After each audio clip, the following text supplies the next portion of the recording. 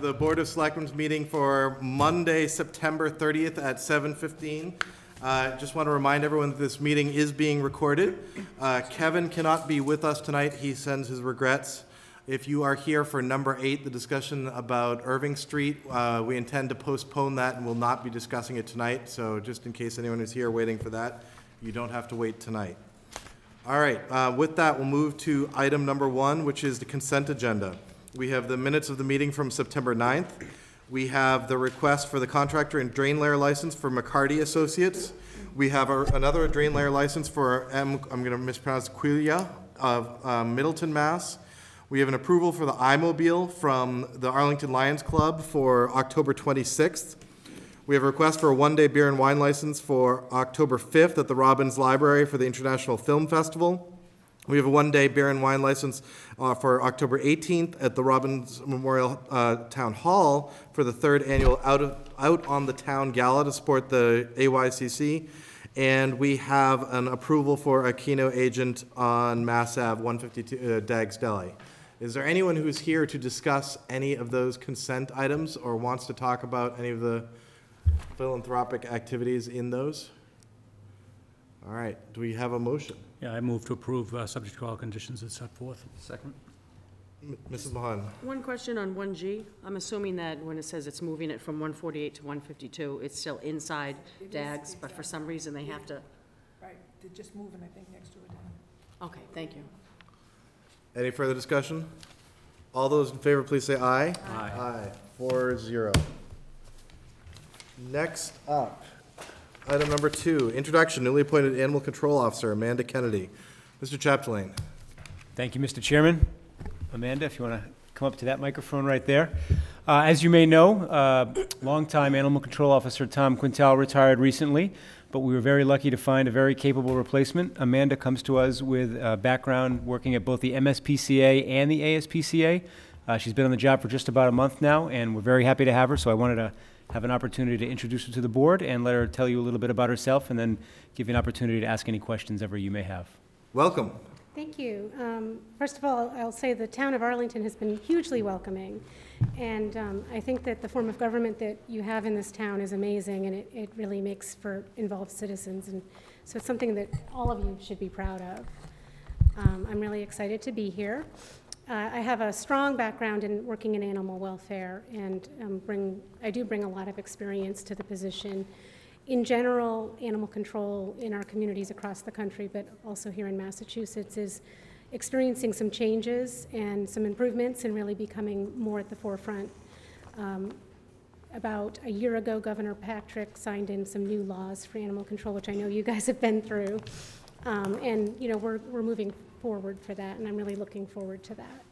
Uh, Animal control, uh, studies show that animal control officers actually have more interaction with the public than police officers, so um, how we interact with the public becomes really important. Definitely. Questions? Mr. Curro? I I just want to welcome Officer Kennedy. I had a a chance to uh, bring my daughters by the booth on uh, Town Day, and I appreciated your work, and, and I I like what you just said about the, the public, because it was very clear when I walked away from the booth that, you know, animal control function is not just about enforcement, it's not just about animals, it's also about education, about uh, people, and you, you were great with the kids and, and trying to just get them inculcated early with um, what it means to be responsible pet owners and such, and I think that, um, that, that, uh, you know, I look forward to seeing more of those types of education efforts, because I think you know that, you know, like many communities, that those are some of the types of issues we struggle with, as well as working with owners. Yeah, I, I will just add, I did develop the humane education program at the MSPCA, and I am looking forward to hopefully getting in the schools and, and doing some ongoing education. Fantastic, thank you. Mrs. Mahon? Um, Welcome to Arlington. I have to say, you're in the top three positions of people that I got phone calls, emails, texts. Uh, When are we hiring? Who are we hiring? When, when's the new person going to be here? Um, And definitely, you have been heralded throughout the town now that you're here. Uh, Just two things. One, I think I know the answer to. Uh, The second, I don't know the answer to. The first question is um, regarding your view on increasing our dog licenses, how you would do that and why you want to do that, as boy. well as, I know you're well aware of Officer Hogan, Hoagie, and- and Dasty, and I'm wondering, is there any interface between you and your, your office and um, Officer Dasty and K-9 Sure. Hoagie. I So- mean, the other way around. So the, um, the first question about licensing um, is actually a hot-button topic for me. So statistics state for a town this size with this level of population that we have eight to 9,000 dogs. We have 1,700 licensed. That is actually a really low rate of licensing. So most towns don't have all their dogs licensed, but in Arlington, we should be higher than we are.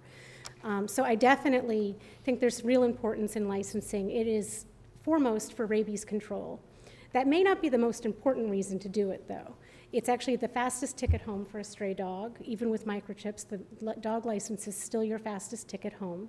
Oftentimes, people don't update their information with the microchip company. And I think more importantly, from an animal control perspective, and also from a revenue perspective for the town, if I only have 1,700 dogs licensed, then I can only advocate for needing items for 1,700 dogs. And so from my perspective, I need those dogs licensed so that I can be better resourced and do things like go into the schools and do education. Um, So I I definitely want to work on that. I'd love to see online licensing. And um, I've already talked with some people, and I know that that is technically a possibility in our system, and with the new website, we should be able to do that. Um, I think that's a huge barrier for people licensing their dogs. Um, In, in such a digital age, people don't want to have to come to town hall to hand a piece of paper to somebody. They should be able to scan their rabies and pay for it online. Um, In terms of uh, Dasty, very sweet dog. Um, uh, he shed all over me the other day, and my dog at home was very upset. Um, I'm uh, my supervisor, my direct su- supervisor is Captain Curran, and, and he is also the supervisor for Officer Hogan and Dasty. And um, I do hope to work with him more. I certainly want to connect with him on education pieces. Um, I don't know how much we'll actually have opportunities to work directly in terms of law enforcement. In fact, if there's animals present that I need to address, it would be better not to have Dasty there. So I, I'm not sure exactly how that will, will interface, but um, I look forward to doing education with him. Excellent. And I was just envisioning, sort of piggybacking on Mr. Curro's comments. I know um, Hoagie and Dasty go out to the schools, and I was thinking it would be a great opportunity to have both um, police officers, control officers Oh, absolutely. there. And it sounds like that's the direction you're moving in anyway, so I just wanted to raise it because I love the K-9 so much. Yeah, I hope so. I might need your support for that at some Thank point, but. Um, Tell me about your dog. I have two dogs. Actually, um, we have a four-pet limit in our house. My husband put his foot down. We have four people, and we can have four pets. All right. Um, so I have two dogs. I have a pit bull who's a rescue dog, and he's a canine good citizen. He's fabulous. And then I have a little Shih Tzu Yorkie who is also a rescue dog, and she is a Tasmanian devil. Um, she starts fights everywhere she goes, so I have to carry her under my arm. And we have a cat and a Russian tortoise that was found stray walking through Newton. Wow. So All I have two boys. Welcome to Arlington. We're very excited to have you. Thank you. I'm really happy to be here. Thank you. Thank you. Thank you. Oh, uh, one, I'm sorry, I left some magazines for you guys about animal sheltering, just to give you a little peek into, you know, my world and what I, what I stand for. Okay, thank you. All right, thanks. All right, next up, Memorandum of Understanding Battle Road Scenic Byway. Uh, The Road to Revolutions, uh, former Selectman Clarissa Rowe. Clarissa, didn't we do this already? We did this already. Um, Thank you, Dan. Uh, It turns out that one of the four towns, not us, wanted some changes at the last minute. The changes are in the new version that you have. They were minor. They were reviewed, reviewed by Mrs. Rice and Town Manager Adam Chapdelaine, and I'm here again asking for your approval of the memorandum. Um, They were very minor changes. They were things like who gets to, dis- whether the MAPC is going to be the fiscal agent or not. But they're, it's all basically the same thing that you already approved. So I'm asking for your approval again today. Move approval. Motion, Second. second, for discussion? Just, Ms. Rowe, you said the basic one that we should probably be highlighted, looking at is the MAPC fu- function. What was it before, and what did Well, the- another member We town had, we had um, said that the MAPC was definitely going to be the fiscal agent, and the town of Lexington wanted to hold that decision until we were actually in operation, and then we could make that decision.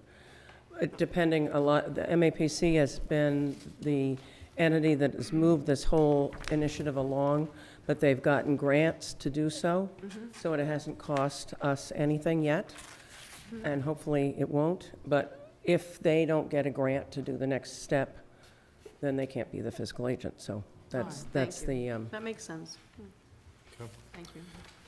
Um, My only note is that one of the key things for me, which I was to d- double check, was that uh, any participating town or park may withdraw upon 60 days written notice to the committee, which means, I, I think this is an absolutely wonderful thing, but the- it also, Yes, uh, could it's good to have the balloon escape into- hatch, and we've got Yeah. it, so let's, Yeah. I'm totally in favor. Any further discussion?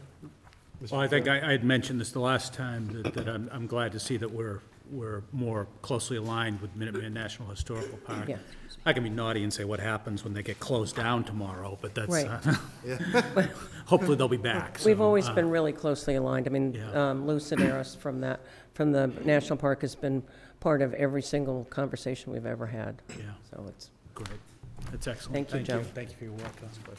All those in favor, please say aye. Aye. All those opposed? Four zero. Thank thank you. All right, next up, Verizon, uh, Bradley Road. Elizabeth Kelly? No. My Hi. name is, hi, how are you? Could you introduce yourself? Uh, Yes, I would. Uh, My name is Ed Davis, and I'm representing Verizon on this hearing. Originally, I think um, Betsy Kelly is the one that petitioned for this. Uh, She was either tied up with something, or I know last week she was sick, so she asked me to fill in for the meeting. Sure. So here I am, uh, representing Verizon's, and hopefully I can answer all your questions. I did visit the site tonight before I came here to see what it looked like and what was going on there, so All right. I think I got a I'm sorry, I apologize. I think, no, it's all right, I think I got a pretty good idea what's going on there.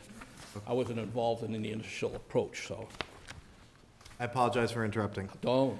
Uh. So I just want to note that the the memo that we have here um, from Kurt Kelly, our our senior engineer, says, "Since this portion of Bradley Road is a private way, we do not recommend issuing nor denying a grant of location. We do, however, recommend notifying the applicant, that's you, that their street opening permit application, which will be required for this work, should include an agreement between the applicant and the direct abutters to the work specifying the requirements for restoration of the road and work site upon completion of the project." I, I can say that all the abutters have been notified. Uh, They had a list, they have a list in the folder here, there's Yeah. nine of them. Uh, I've got the receipts from all nine that were certified letters were sent to them. So you understand that this doesn't say tell them, this says agree with them. And I hear what you're saying. Now, whether they've contacted them, that was a question Betsy had. I- If this is a private way, why are we petitioning? Usually you petition a public way. That is an interesting And- question. and- And I can't answer that question, but Betsy brought it to my attention. We both work for the electric company, and usually you don't, you don't petition. You deal with the abutters and so on to get that work done. So I'm going to invite the public, but do we have any questions before the public? Okay. Is there anyone here in the audience who wanted to talk about um, the work on Bradley Road? Come on up to, could you come on up to the microphone and introduce yourself and?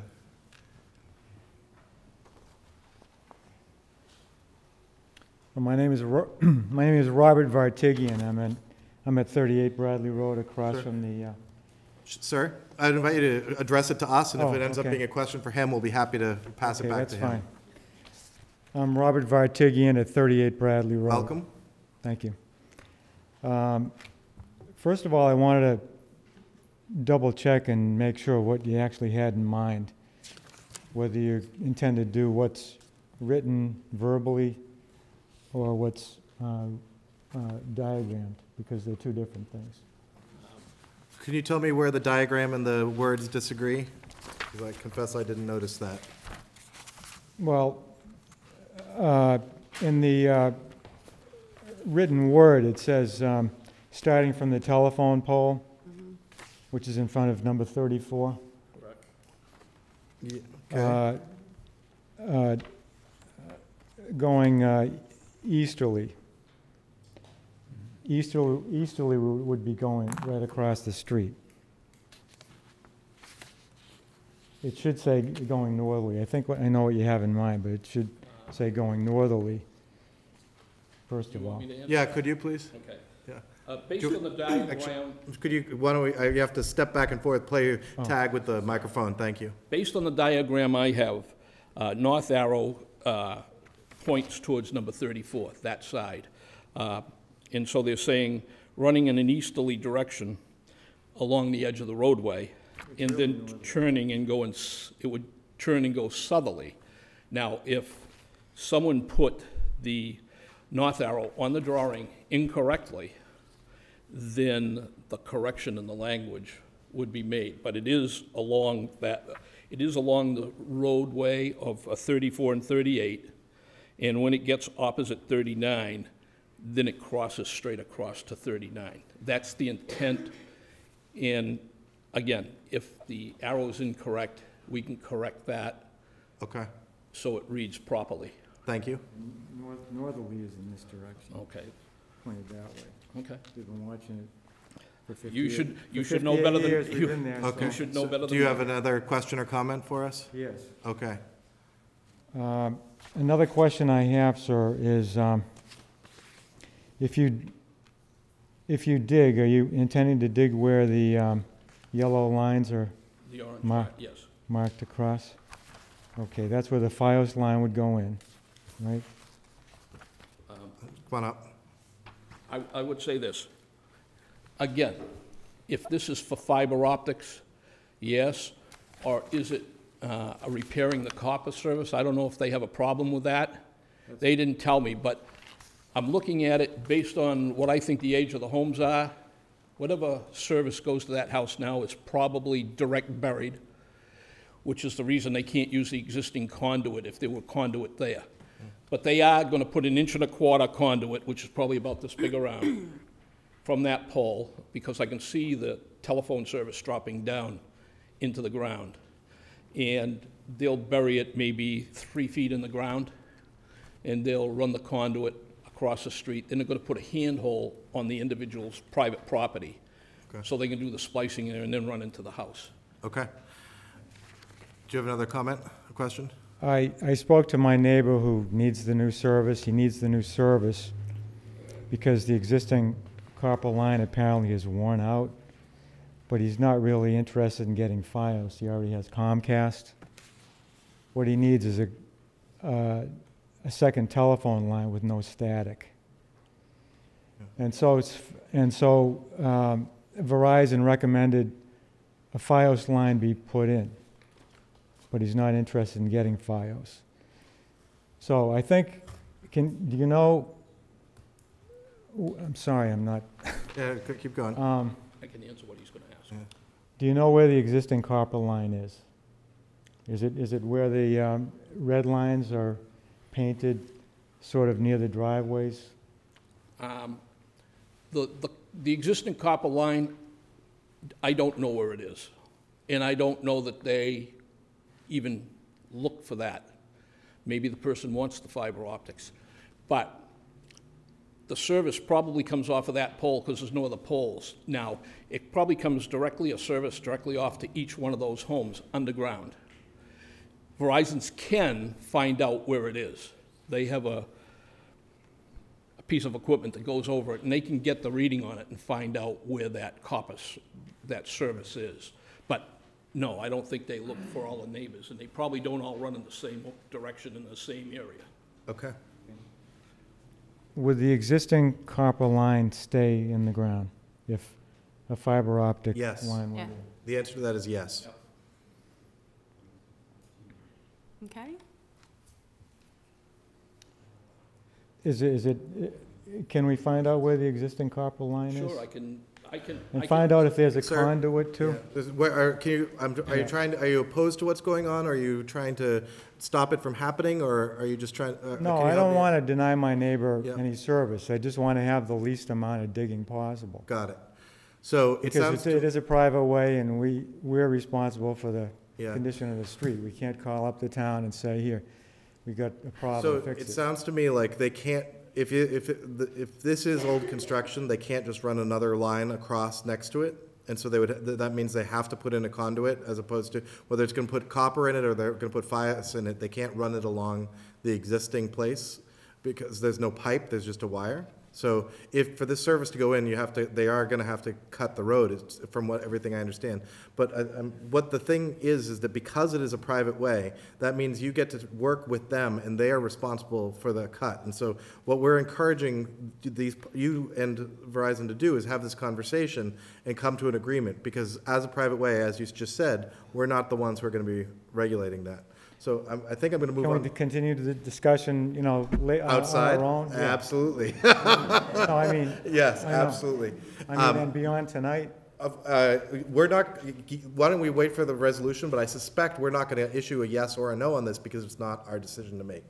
Um, Mrs. Mahon was first. Um, First, I'd like to move receipt Okay. of this, since we're not. um, Second. Um, Second, I would ask through the chair, I'm Yeah. not sure if it's the chair or- or someone to my left, in terms of, um, since this has come before us, and normally it doesn't because it's a private way, and there are recommendations that do involve the engineering department, as well as, um, for the sake of the people, people on the private way, as well as the sake of the town, just to know, what is the process protocol in terms of when a utility service comes onto a private way, that they, do they have to, and/or if they don't, is there a way they show the town, through the town manager or the board of selectmen, that they have met with majority, two-thirds, whatever it is, private way owners, they've come up with this, everybody has signed off on it, and everybody's okay? And I'm just wondering how it did get to us. So I, I believe through what Kurt Kelly has said on this document is that before the engineering division issues a street opening permit, they, will- they'll want to see that agreement between the utility and the abutters, making sure that the road's going to be restored to a satisfactory level of the abutters on that private way. So our engineering department will receive from Verizon They can't open, that. they can't open the road until they get All a of street the opening abutters, permit. all nine, is it two-thirds, or you can tell me at a later date? You can Uh, let me know looks at like- a Looks later like it's date. direct abutters, should be. a- All right, thank you. Yep. Mr. I just wanted to share, and for the, for the benefit of the the resident here, I mean, I, I went through this, I live on a private way, we had another utility um, opened up the, the street. All of the abutters in that case did sit down in somebody's living room, my living room, and, and met with, with the representative of the utility and discussed the, the concerns, and then we got it in, in writing, and everybody signed off. That was the process we followed to protect our rights, and so I'd recommend that you, you might want to get your neighbors together in, in that way.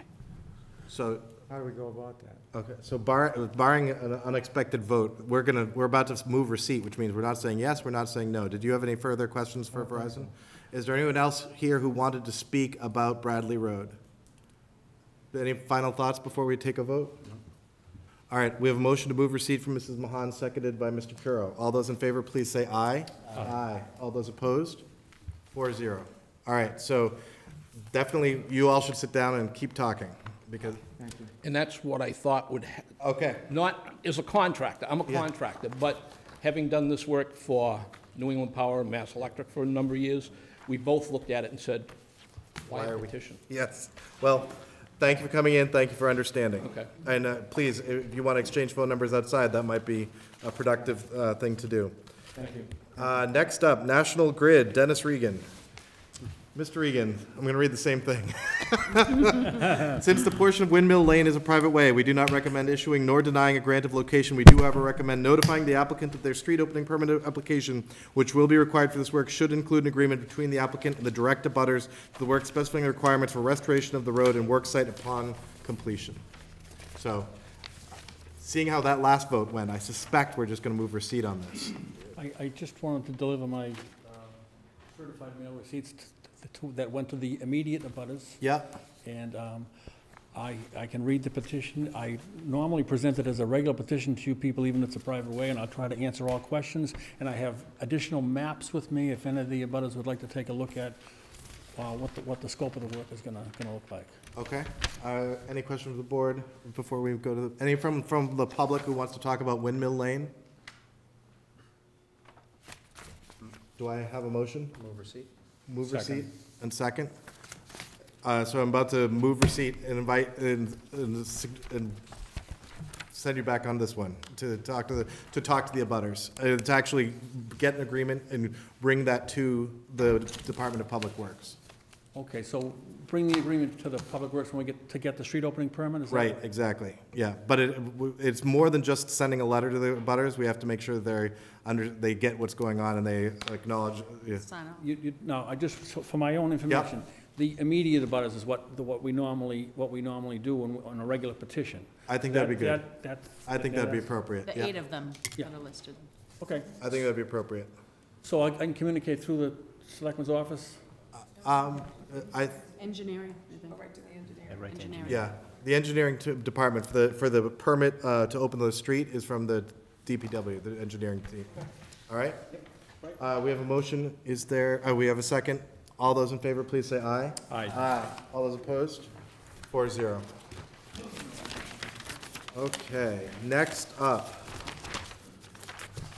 Level three communications position, Chestnut Street mm, and Medford Street. Welcome. Thank you. Can you introduce yourself and tell us about the work? Yeah, I'm Mike Weimer from Level 3 Communications. I'm the senior outside plant engineer for the New England area. We propose to install a conduit between some existing poles on uh, Medford Street and Chestnut Street, where there's not existing strand uh, between those poles. The spans are a little bit too long. So we'll be uh, installing conduit so that uh, we bridge the gap with conduit instead of uh, doing a new pole line.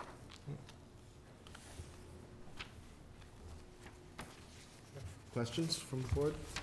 Mrs. Mahon? Um, First move approval, um, subject to all the additional conditions that are listed from um, the DPW. Uh, The question I have, thank you, I have through the chair is, um, I think you stayed in here, but I I can't bring it to the front of my brain in terms of when you'll be doing this work. And my bigger question is, I know that particular area that I'm calling Thousand Islands, that National Grid is down there, and we have some traffic delays and, and the like. And I'm wondering if, A, your work also coincides in terms of timing with what National Grid is doing down there, just because that's a major thoroughfare for, I think, Route 60. Um, A, if you're aware of that, and we are aware of that, and B, how, if you do, if you are down there at the same time, how are we coordinating that? And if we don't know that answer right now, if we can get that as a discussion and go from there? I don't know. Yeah, I, I actually wasn't aware of that work, but um, we would certainly coordinate with the other contractors working in the area uh, to try and make, you know, as little impact to the public as possible. Could I ask Yeah. maybe the town manager, just because Please. that's another additional, and I'm not saying that work shouldn't commence, but I really think it needs to be coordinated, and I'm hearing your willingness to do that. Yeah, the, the engineering division, along with the traffic division of the police department, will make sure that the work's coordinated. And if it is, for some reason, happening at the same time, that traffic uh, delays can be minimized, but hopefully it won't be scheduled at the same time, and we can sort of uh, do it periodically or sequentially so that they're not backing people up. I can also think of a specific business that's there, that- that was gonna, that was really gonna care if their road is ripped up right Yeah. there. Yeah. So if I were the gentleman at the microphone, um, who would I be contacting, coordinating? Wayne Chouinard, Uh, town, town engineer. Town engineer. Yeah. Okay. So, ju- just because there's a lot of work scheduled for going on down there, and that is a major thoroughfare cut through. So I just want you to be aware of that, so that your, your work can proceed safely and as quickly as possible, as well as for the town and sort of minimizing things. I appreciate that. Thank you. Thank you. Mr. Curro? Yeah, uh, thank you very much. Uh, One of the recommended um, conditions from the, the uh, engineering department is that there be uh, 48-hour notice uh, given to abutters um, before the commencement activities. And I don't want to enshrine it and break with precedent as far as the conditions, but is it feasible to give a little bit extra notice? 48 hours isn't necessarily that. that Yeah, I, I don't think that would be an issue. Yeah, yeah. Uh, How, how, what, what kind of lead time do you typically? Generally, we schedule these things a week in advance or so. Yeah, So, uh, you know, a week's notice would be, if it's possible, I think that would be, that'd be helpful. In particular, I don't know if you realize, there's a funeral home there, and so they do their lineups right in front of there, and so that's gonna be, you know, if the timing's bad, the timing will be bad. Right. Yeah. Uh, Any, is there anyone from the public who wanted to talk about this work on Chestnut and Medford Street? Mrs. One thing, and if, if I could, when you speak with Wayne Chouinard, um, through DPW, our town engineer, Mm-hmm. or whoever the town manager deems appropriate, if you could, unless you can tell me right now, you don't anticipate a lot of, when you're talking about storing equipment, stockpiling, um, staging, um, I'm, I'm, just wanna get on the record that you'll, uh, do you anticipate you'll have a lot of that? Just I because don't- there's I don't- already a couple of mini construction sites Oh. down there. I, I, I understand what you're saying. I don't believe we'll have any, uh, equipment being stored in the area or, uh, spoils or anything of that nature. Um, we use the local vendors, so they'll bring everything back to their yards every night. Great, thank you. That was- Seeing no further discussion, all those in favor of the petition, please say aye. Aye. All those opposed, say nay. Four zero. Thank you. Thank you. Okay, next up, um, a request to repair a private way, Madison Avenue. Um, I don't actually know who the right person to start with on this one. Is it, It would be the petitioners. yeah, Who- Sylvia, she's the one that started it. Sure. Sylvia here. Sylvia, could you come on up and introduce yourself and um, t- walk us through what you want us to do? Uh, Hi, my name is Sylvia Macmillan, and I live on uh, 144 Madison Ave. Um, We have had that uh, two-family house since 1996, and uh, we've been trying to um, get all the uh, homeowners to come together and uh, repair the road. The road has been patched so many times by homeowners, whoever feels sorry about us and all that, and- and that they, they try to patch it, but uh, um, it being a very temporary patch, it will come off, and uh, the road has gotten very bad recently. And um, we started uh, the petition about uh, two years ago, and finally, recently, we've gotten into uh, two-thirds of the uh, homeowners agree, and um, uh, we want to start this project as soon as possible because the road being uphill, downhill, uphill, it's uh, very bad for the wintertime. Uh, You know, the uh, uh, plowers are not able to do a good job. Their plows get stuck. Garbage trucks are getting stuck. Our tires are being blown up. I just recently, two, one year ago, I had to change my car tires. And uh, I don't see kids playing on the road. I don't see cars dri- driving down the road. So this has affected the homeowners financially and, you know, uh, also, uh, we're not able to sell the houses. There, some of them, no buyers are coming in because of the bad road conditions. And uh, some of the homeowners are not able to uh, keep up with their uh, tenants. They, they, they just don't have any tenants come in because of the bad conditions. And uh, we would like to get the road repaired. So um, we have started with the help of Marie Krepelka. And uh, I think we have reached quite a point that we can do this. Uh, Last year, we had contracted with DNR paving, and uh, however, there was a uh, ownership change in the DNR paving company, and uh, new owner did not know uh, anything about our project. So by the time he found out in his computer, it was too late. So uh, we went with uh, uh, aggregate company, and uh, they gave us the estimate, and uh, we have also the estimate on how much it's going to cost per lot. So Okay. So just um, as general explanation for people in the board, I mean, for people in the audience, and um, also to double check that I'm getting this right. So, because I I think this is the first time I've seen this since I was on the board. The town bylaws permit a private way to be repaved if two-thirds of the people on, the uh, property owners petition the Board of Selectmen, and the Board of Selectmen agree that the need is met. And if uh, a third, once a third of the money is received in deposit, then the work may progress and the rest of the money is put on um, the tax bills essentially. So, or- and it can be spread out over five years. So essentially, it is a way for um, a majority of people on a private way to force the road to be repaved, even if there isn't a unanimous opinion that it should be uh, approved. So, um, that said, I was going to invite the public, but do we have any, Mr. Curro? Well, I think there's another piece to this also, Yes. though, that the upfront costs are expended out of the private way. um, Fund. fu- Correct. Fund. So I just wanted to double check that the, that the fund balance is sufficient to cover this if we're, um, I believe there's still an existing appropriation, having there been nothing done of this sort in quite some time. okay. Any, Mrs. Mahon? And, and just to sort of expound upon what you just said. Yeah. When you said that the taxpayers um, bear the cost of this, it's the taxpayers on the private way um, that they agree to. And some, some of them, if not all of them, work out an arrangement with their tax bill through the treasurer. Um, So when you hear taxpayers, it's The pri- fortunately, unfortunately, the taxpayers of Madison Ave. Got it. Okay. okay. Uh, So is there anyone else who's here to discuss Madison Avenue? Come on up to the mic. All right, could you, could, sir, could you please come up to the microphone and introduce? Actually, do you know what? The woman behind you got her hand up first. So I'm going to invite her up, but you can come on up and sit, just stand underneath the monitor. uh, Come on up and just stand up underneath the monitor, and uh, we'll get you up, up next. Welcome. Could you introduce yourself? Hi, I'm Elizabeth Orange. I live at 35 Evergreen, which is at the corner of Evergreen and Madison.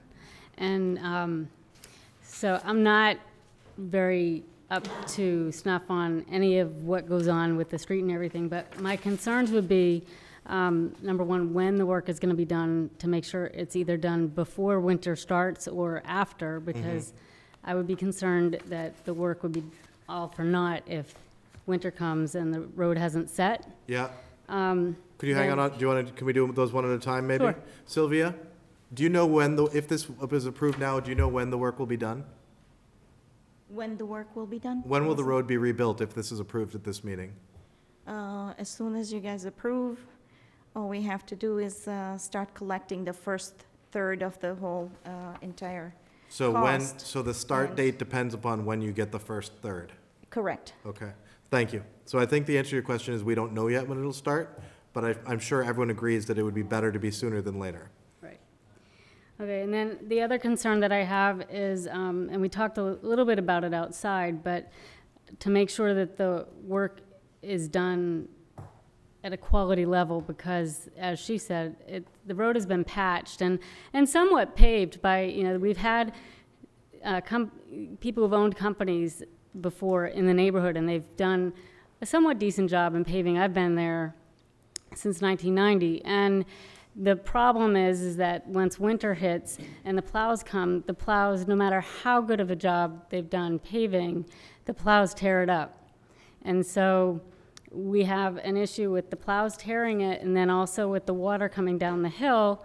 The water goes into my yard, and it also goes into my brother-in-law's yard. He's not on Madison, but he's on the other side of Evergreen. So he's right at the bottom of the hill. The water goes right into his yard. So those are our concerns in, on the end of the street. Thank you. Uh, I was, yeah, do it- go for it quickly. Um, When aggregate company came up, he, they uh, assessed the street, how far it goes down, exactly which houses are gonna be affected by the water draining, and they're gonna be building an edge to those uh, who are gonna be affected.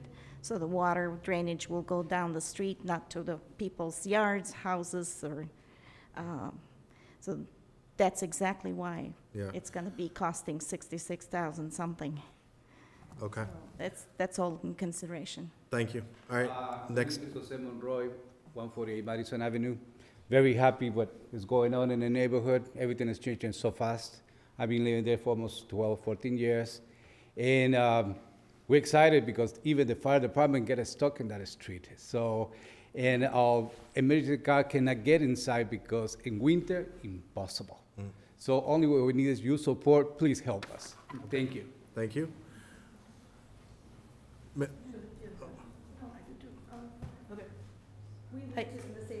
All right, why don't- you can come up together, it's We okay. live at 145 Come Madison come Ave. on, come on up to the mic and introduce yourselves, thank I'm you. Michelle Sullivan. I live at 145 Madison Ave. And I'm Patricia Sullivan, and I live upstairs from her. Welcome. Thank you. We've been in the house since 1970. Um, Mike, I was wondering if, I was under the impression the town paid for half of the road? No, No? Wasn't This that in one- the bylaw? No? yeah. All right. And were we allowed to use your company, the town company, and get a discount? Um, no, there, yeah, I- is there any, town, Mr. Chapdelaine, is there any repurchase? Yeah, unfortunately, this is something that you've, as, as the private way, you guys need to negotiate the, the deal yourself, unfortunately. Yep. All right. That's what I was curious about. And how long would the work take? I'm, I'm gonna defer that to your contractor, and we're not, we're not the right people to answer that for you. I'm just here in support of it. It's probably long overdue. Um, It was semi-repaired by the town when there was some pipe repairs, but either end of it um, is very, very terrible. It's, um, uh, what can I say? This is long overdue, so I'm, I'm here for support. Okay. Welcome. Hi, good evening. Uh, Brian McCaffrey. I represent the owners for um, 128 and uh, 130 Madison, and also 153 and 155 Madison. And I just wanted to speak in support of it tonight. Oh, thank you. Was there anyone else who wanted to speak on this? Mrs. Mahon? I'd like, I'd like to move approval and just um, on an issue that was raised by one of the speakers at the microphone. I know when, and it's been cited that previously different people have done patchwork, um, and then the snowplow trucks come by.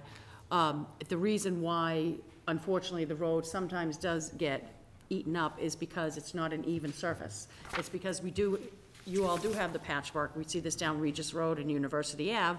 We do the patchwork, then winter comes, we get the snow, then we get a freeze, and that kind of raises everything that's been patched. Everything that's paved is on one level, and the patch kind of rises. And that's why when the snowplow trucks come through, whether it's a snow fighter, someone correct me if I'm wrong, or one of the smaller vehicles.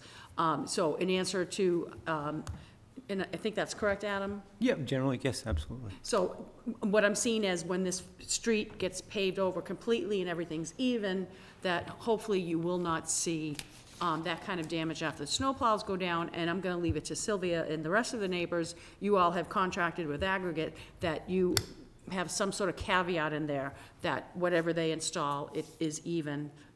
We cited the drainage issues, but also, I think that will solve that problem, that once the snowplows come through, my gosh, you know, it's a different road. So we have a motion, is there a second? Yeah, I'll, um. Second. I'm sorry, Mr. Do you want to say that? So um, there will be a- one other final action before the, the construction can start, and that's the board adopting a formal betterment order per the bylaw, and that's what basically cements all of the abutters on the private way to pay their portion share, and then allow engineering to place that as a lien on the property. Uh, So the board can move forward with ap- approving in concept, and then we can have a formal betterment order prepared and brought before the board at the Okay. meeting next Monday. That's good to know. Thank you. I did not know that. Yeah. Uh, sh- Sure. Was it about that very specific thing? I'm going to come back for another, uh, g- let me finish up here. Sorry. We, we- one at a time. Uh, Do we have a second? Um, Second. Yeah, um, I second it as well. Mr. Yeah. Um, But, and now that I just found out that they'll be coming back to us, I do think that we should look into the timing of when they do come back to. us. If it is in the middle of December, then perhaps we can make it conditional on starting in the spring, or, you know, or whether it's even at the end of November and it's approaching winter, that we don't, they don't get underway with the project, and then to kind of appease everyone and a little bit of a compromise. But, um, that is something we can take up and then when they come back. Stephen, can I just interrupt for a second? Mhm. When I spoke to the gentleman, Doug, he said that if I collect the money and have it, and hopefully within two weeks from everyone, they could start right away before November first to have it finished before the winter sets in. Oh. So then if they pay me the third down, they can start, and then anyone that wants to pay before December thirty-first, the balance, it will not go as a lien, if it's still open January first, then you would have to put it as a betterment. But Okay. that's what, the last I spoke to the contractor, his plans was, as soon as we get the money, the third down, and give them the go-ahead, they'll start. That's Mr. what- Thank you, Thanks, Ray. Mr. Carroll? No, I have nothing Okay. more. Um, I just had two comments. Um, one is I just want, we were talking about the stormwater briefly earlier, and I just want to point out number seven. The street does not have a stormwater collection system. Owners should be aware of any grading runoff problems that could be encountered or caused by this work. So yes, putting an edge makes the water run down the yards, but that water ends up somewhere. And so people just have to understand, like, this, there is no stormwater collection that's on, on this road. And, uh, so now, having gone through this, now, did you have a, do you want to come on up to ask another question? But that, she answered my first question, but Okay. the other question that that I was gonna point out is that even with these edges, that water's gonna end up on Summer Street. Because right now, even in the best of storms right now, it ends up at the end of Evergreen on Summer Street and you have a big puddle. By paving the road, yes, that road's gonna be beautiful, but we're gonna have a huge, big water issue at the end of Evergreen and onto Summer Street, so. Uh, I did ta- take a drive down the road today, and I thought it was a well-named collection of potholes. And, and just, just briefly to that point, I do want to say, I think it was October ninety-six, uh, we had that big huge storm, and Thesda and Summer Street and Wright and Dotham and all that flooded like crazy. And one of the things that a lot of the neighbors up there, Friends of Thesda neighborhoods, did was work with the town. Um, I know the Caggianos live right there, the DiNapolis on Summer Street, and, and Mike Malone, who's right on the corner of Evergreen and Summer. And what the town did back in if it was 96, we did it in 97. If it was 97, we did it in 98. I want to say the flood of October 96 helped redesign the, um, Summer Street by putting in higher curbs, by installing some more stormwater drain runoffs for that very reason, God bless you, as well as we had water coming down from Winchester. So I, th- I think and I hope and I anticipate, because we also anticipated future um, water runoffs, that we have prepared for that. Um, and if we haven't, we'll have to go ahead in the future. So hopefully, the concern you raise is a valid one, and I'm thinking that we have the infrastructure from that ninety-six, God bless you, ninety-seven event, um, that that will be mitigated. If not, we'll go forward from there. Any further discussion from the board? Nope. All right, uh, we have a motion and a second, uh, motion by Mrs. Mahon, second by Mr. Byrne. All those in favor, please say aye. Aye. Aye. Opposed? Four zero. Okay, um, so we'll go forward and, but we s- still have to come back Have and that do formal the, do the formal betterment order, but we'll do it. Okay, that is the end of, um, talking about number seven Madison Avenue, number eight Move to table. Irving Street. Um, and we Second. can, uh, we have motion to table. Uh, it is tentatively scheduled for November fourth, but I keep an eye out for future agendas to see what exact date that is. All those in favor of tabling, please say aye. Aye. Aye, that is four zero. Number nine, appointment to the Culture, Arlington Cultural Council, Elizabeth Taylor. Welcome. Could you tell us a little bit, thank you for volunteering, thank you for helping us out on the Cultural Council. Could you tell us a little bit about why uh, this is interesting to you? It's interesting to me because my whole life and my career has been dedicated to the arts as healing practice. I was trained in opera, theater, and dance, and I have a small sole proprietorship that um, presents young people usually in concert to give them the experience of performing uh, to get their careers up and running because I didn't have that opportunity when I graduated several decades ago. Um, so it's very interesting to me to use all my skills and my training uh, to improve the town of Arlington's arts, of which there are a great deal. So I'm very interested in helping that along. Thank you. We have a motion, question. Move approval? Second. Mrs. Mahon? And to just say, I'm really excited that you're joining Arlington in this way, just going through your resume, curriculum vitae. I see you have quite a bit, I- I'm not sure if it's with the Boston Museum or Boston Baroque, but in terms of grant writing and identifying grants as well as writing them and obtaining them. Right. I think that's a great addition along with, you know, some other people that also have that skill, but I think the more eyes and more familiarity with that. Um, so I'm really excited about that facet of it. I'm sure there's probably five or six other areas that I have no idea about that you're bringing to the table, but I really want to thank you. And this is a, um, commission committee, um, Mr. Cure also interacts with, um, often and has really gotten sort of a rejuvenation, um, within the past year or two. Um, including your addition to it. So thank you so much for agreeing to do this and volunteer um, your expertise. I appreciate it. Another thing that I'm very interested in is making uh, connections between the cultural events and organizations. In the past, they've tried to do that and hasn't gotten very far.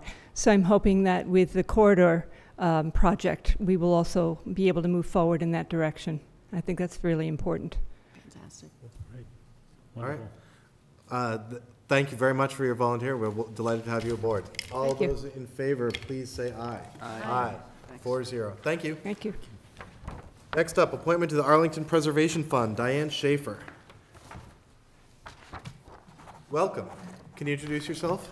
Um, I'm Diane Schaefer. I've been on the Historical Commission since, I believe it was 2006, and I was an associate on the commission before that, just because I've always been really interested in historic buildings, and we renovated a big house here a number of years ago. And I wish then that there had been a preservation loan fund, because we had just sort of figure it out by ourselves. And um, I think it's really exciting that this money is there for people. I mean, it's not for renovating your house, but to, for restoring certain historic features about your house that a lot of people probably wouldn't do if they weren't encouraged or had a way of, to get money for. And I'm a real estate agent, so. Okay. Thank you. Uh, Is there a motion? I, I move approval. Move approval? Second. Second. Mrs. Mahon? And I just want to say to Ms. Schaefer, Diane, um, I really appreciate, you seem to have an awful lot of design, photo ed, and photography experience. um, Yes. Besides your regular nine to five or Yeah. 12 to nine, whatever Tho- job. Those were previous careers, now it's Right. real estate as a buyer's agent. Yeah, But I think that's a nice facet that you have, a sort of niche that you've, you've grooved out. And I'd be interested to see um, your service on the Preservation Fund, perhaps if somehow that can be tied in. Where we're getting so, you know, quick, hands-on, I know, you know, in terms of the Symmes development, 360, they're gonna have, you can go through the community park areas and you can use your iPhone and tag onto something to get something back. So I don't, I just saw all that photography and photo ed experience, and I really encourage you, and I know you will, whatever you can bring from that, of your expertise to this committee, um, commission would be great. Thank you. Any further discussion? All those in favor, please say aye. Aye. Four zero. Thank you very much. Welcome. Next up, we have a request for a food vendor license. Kevin Foreman Senior Blind Man Management, Inc., doing business as The Right Spot, thirteen eighty-nine Mass Ave, which is, of course, the uh, MBTA um, bus stop up across from what used to be Panera. Welcome. Welcome back at you. Can you tell me a little bit about your application and what you're doing up there? Um, I began three and a half years ago where I um, approached as an independent business person to the MBTA under what we, uh, a flagship program with the Mass Commission for the Blind that I Mhm. drew up called the Small Business Enterprise Program to uh, bring more independence uh, and opportunities to the blind and the disabled community to become business people. Uh, It took me three and a half years. The MBTA right off gave me a 10-year lease on the place um, on the grounds that they could have all the thunder, that I didn't need any of it, but uh, they were helping the blind veteran get into business. Um, We opened August 5th. I'm very excited about it. Um, I'll be the first independent, uh, full-purpose uh, MBTA Charlie Card agent, be able to do all the bus fares, train fares, right here in Arlington. You haven't had that. Um, I have the lottery. Um, we serve New England coffee. Everything's filtered, everything's clean. You can eat off the floors of my store. I run it like a Marine barracks because I'm a former uh, senior Marine drill instructor. And um, I bring a lot to the table. I'm looking forward to being a part of your town. I came to Massachusetts to learn how to be an independent blind person. And what I learned was is that there's a lot of areas that we could improve on uh, in helping the disabled. I've always been a leader. I'm Special K, the World Kickboxing Champion and a Hall of Famer. So I, I bring a lot to the table, and I have friends. mad. Yeah, But, that uh, wasn't on the food application. The look is because I have fans, and I'm growing old with my fans, okay? And they do see me. Um, I'm a little, I'm normally not nervous when I do public speaking because I was with Special K for so long, but since I've lost my sight, I only have right peripheral vision, um, this is new to me again. But um, I've had to learn how to talk and walk and many things to just be able to come in front of you wonderful people and be a part of this town. The support's been fantastic. Um, my door's open. I do volunteer work. I'm looking forward to being a good part of your community, and uh, thank you for letting me come, man. All right, thank you. Your bus station is open. There you go. Do we have a motion, Mr. Yeah, Byrne? I'll uh, move approval, and uh, And I'll second. on that note, thank you for uh, being here, and it's uh, great to see the bus station with something in it, um, you know, being functional, and this is excellent. I'm very impressed by you and your background, and uh, I look forward to you being a part of this community. Thank you. Thank you so very much. Uh, Mr. Curro's? I I likewise want to thank you, and I, I think it's a great partnership. I'm, I'm glad that we can kind of partner with the, the T and the Mass Commission for the Blind and that, that, uh, with your energy, and I want to thank you for your service as well. Well, you know, we have a law called the Randolph-Shepard Act. Many of you probably don't know what that is, but when you become blind, you understand what it is. It was written for the World War II veterans that came back blinded by the sulfur bombs. There were so many of them. And Randolph and Shepard were two senators. They formed the law that stated that any state and federal property entity which had retail space available must first offer it to a qualified blind person the law has been pushed aside and pushed aside and pushed aside because people don't like to give up properties. Um, but, but I'm hoping what I'm proving here is that, um, given, given the right person, you know, they should abide by the law. And, and they shouldn't give properties to people who are just going to take them and fail. This is not a failure. This is going to be a great success. But um, I do believe that, that the law should be invoked, and that's basically what I've done here is I've just went to the MBTA, used the Mass Commission for the Blind, and brought those two agencies, which are like oil and water, to come together on this. So it's, it's, there's a whole lot of things that happen here that have very little to do with me and my little store, but, but um, the things I'm doing in that store, there's a, there's a POS system in there that I've developed, and you should come down and see it because it's allowing a completely blind person to manage a business. And it's the only one in the world. All right, so was a lot of things happening in this little store that were way more important than the fact that Kevin got a store, okay? So once again, thank you for letting me come to your wonderful town. I'm Thank looking forward to being a great part of it. so- I think we've got one more question for you. Yes. Um, Mrs. Mahon. A a comment and a question. Uh, First, I definitely am familiar with that law. My family, um, siblings, parent, grandparent, retinitis pigmentosa. Grew up on Perkins talking books, uh, coming every week and listening to them myself, as well as also working with special needs, severely autistic kids. Um, I do know Arlington, through their collaborative, sends severely autistic kids to the Perkins School for the Blind because it's a similar kind of training when you train a severely autistic child, young adult, as you do someone who is sight impaired or completely blind. Um, so I, I'm definitely familiar with a lot of what you say, what you do. Um, thank you so much for your service. I made the mistake two years into my marriage introducing my husband as an ex-Marine to another Marine. I learned my lesson. It's former Marine. She's former. It is, Semper Fi. And, and one of the things I think you had in your application is that you will be, or you are, selling um, products that are constructed, delivered by local disabled. If you um, come in the store, the first thing you see to the left is our craft corner. I built, I built a glass case with shelves in it. I now have five different people from local areas. They're handcrafting jewelry and birdhouses and, you know, I'm promoting that type of, of, uh, of activity for sure. Um, The Mass Commission and the uh, Department of Health and Human Services are gonna pick up the ball. There'll be a lot more educative literature at the store so people can come. My website is now being redeveloped from the Special K cereal website to Blind Man Management website, which will be a clearinghouse for people should you need a need for special needs in your family, someone becomes blind or disabled or whatever, I want them to think of, you know, what about, call that blind man, call that blind man, okay? And, and we'll have the literature on our website up to help educate people on actually how to deal with these problems and the, and direct them in the right path, because it was difficult for me when I came here too, uh, to find the right path. There was a lot of, and when you can't see, obviously, you have to count on other people, you know, so, um, in, in those areas, I'm, I'm trying to be as good as I can to try and help as many people, you know, to find the way to, to find the, the agencies that they need to find and get those agencies to perform. That's another thing too. I mean, without leadership leading, the agencies don't have to perform.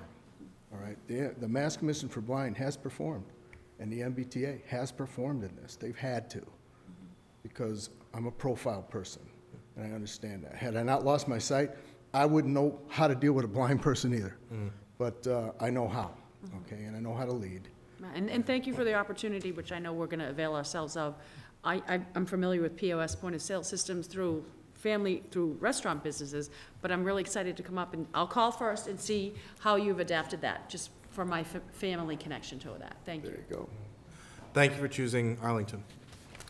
All right, all those in favor, please say aye. Aye. Aye. All those opposed? Four zero. Thank you very much. Thank you so much. Have a nice evening. Thank you. You too. Next up, we have uh transfer of a li- common victualler license. Emily Shea and Mark Ostow, if I pronounced that correctly, Blue October, doing business as Kickstand Cafe, the former Jam and Java. Hi, Hi, welcome. I'm Emily. This is Mark. Hi. Hi. Tell us about your application. Uh, Our application is to move into the space currently occupied by Jam and Java and um, continue operating as a cafe, make some changes. Mark currently owns a little cafe in Porter Square that's located in the Porter Square bookstore called Cafe Zing. And we will have lots of similar things to that. It also adds some more food options. Principally, uh, well, the main changes we're going to make is to kind of change the coffee service. At Jam and Java right now, it's sort of uh, just simple brewed coffee. We'll bring in an espresso machine and up the coffee game a little bit. And a little redecorating, try to make it a quick transfer. We have to close down for a little while just to take care of some of the changes the Board of Health wants. Do a little painting. Uh, motion question? Mr. Curro? Well, fir- first I'll move to approve. I'll second. Subject to all conditions, et cetera, et cetera. Um, th- Thank you very much. Thank you for com- coming in. I I enjoyed reading your application. I, I um, Right, I shared this with my wife, and she was very excited that your spring rolls are coming to Arlington, I have to say. Um, We'll take advance orders tonight if you want. Yeah. It's a big fan. I'm also excited that you're gonna change the signs in the parking lot and update them to the, to the new Mhm. store name. Um, I was wondering, um, is it your intention to keep, I'm sure you know that Joe Burns runs the, the open mic uh, Yes. series that, that does get funding from the Arlington I Cultural haven't, Council. I haven't spoken to him, but it's our intention to It's keep your that intention going to as keep long those as, going. yeah, yeah. That's great. Yeah. Well, thank you very much for taking this over and keep, keeping it going and um, inserting some new, you know, creativity in it. It's one of my choice spots when I have to have an impromptu meeting. Excellent, we'll be looking for you. Mrs. Mahon? Um, Did Mr. Byrne second that? just I did, Yep, yes. you did. Thank you. Um, Just two or three things. First, I want to disclose that a question came up on the Arlington list. I'm not sure if you're on that in terms of what this business was, and I tried to, the best way I could encapsulate the application before me, Uh-huh. saying coffees all the way to Vietnamese spring rolls. I don't know if you saw that. I If did, I've been a member of the list for years. Okay, so I if like I- to stay back, though. Right, no, and I try to, it's hard, you know, I'm not- I'm not representing your business, so I just wanted to let you know in case you weren't aware of that, and if I took any. Did that very well. Yes. I did, oh, thank you very much.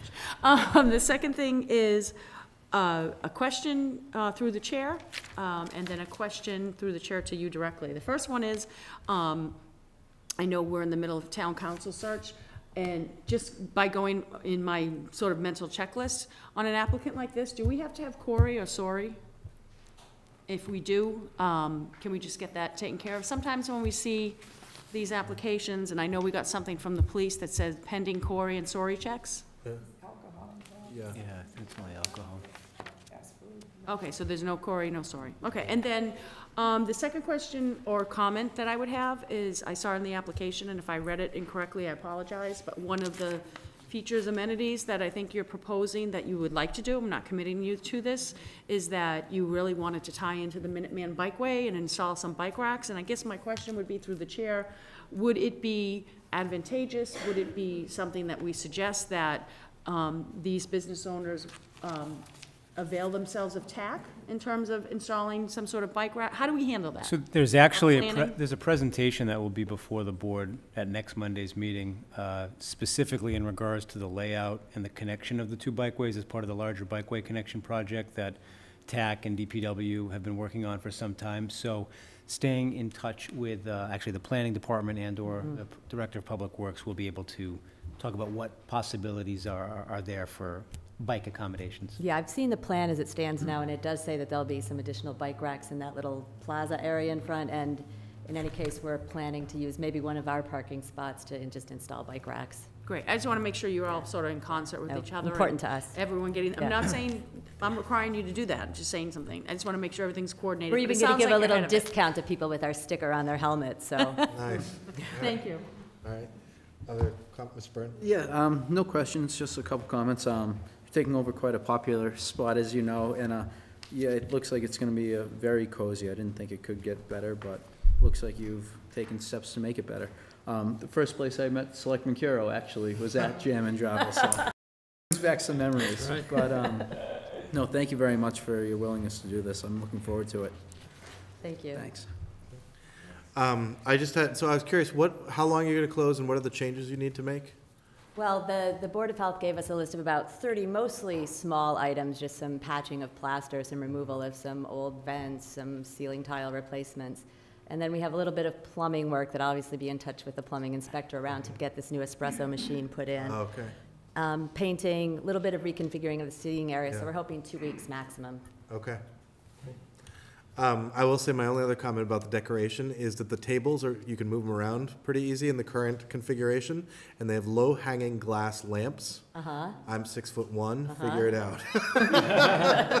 Yeah, I actually, I, I've hit them, but I actually saw one guy break one of them with his head. and it was- Oy vey. Yeah. The Duly blue noted, glass, you know, yeah. like, they're very pretty, but they're, yeah. Oh, they're- that's scary. Low hanging. They're low hanging, exactly. Um, any further discussion? Nope. All those in favor, please say aye. Aye. Four zero. Thank you very much. Thank you very much. So much. Best of success. Thank you. Next up is the Citizens Open Forum. Except in unusual circumstances, any matter presented for consideration of the board shall neither be acted upon nor a decision made the night of the presentation in accordance with the policy under which the open forum was established. It should be noted there is a three-minute time limit to present a concern or request. Is there anyone here who's here for the Citizens Open Forum? Come on up. Welcome. What do you have for us tonight? Good evening. My name is Judith Phelps, 77 Oakland Avenue, Town Meeting Member Precinct 16, and a member of Park Avenue Congregational Church. Tonight, I have given to Marie several copies of a petition requesting handicap and/or limited parking near Park Avenue Congregational Church on both Wollaston Avenue and Paul Revere Road adjacent to the church. A request is being made of the selectmen of the town of Arlington set and order enforcement of a two-hour parking ban on Wollaston Avenue in front of the church property and on the westerly side of Paul Revere Road from Park Ave to a distance of 200 feet from 6 a.m. to 6 p.m. on weekdays only, and to provide for handicap parking in front of the door of the sanctuary and also in front of the door to the parish hall on Paul Revere Road. Parishioners attending meetings at the church are finding it difficult to park in the area of the church. While two, a two-hour limit does apply on Park Avenue, it's only good for about two to three cars, and it is not being enforced, and no such limit exists on Wollaston or Paul Revere Road.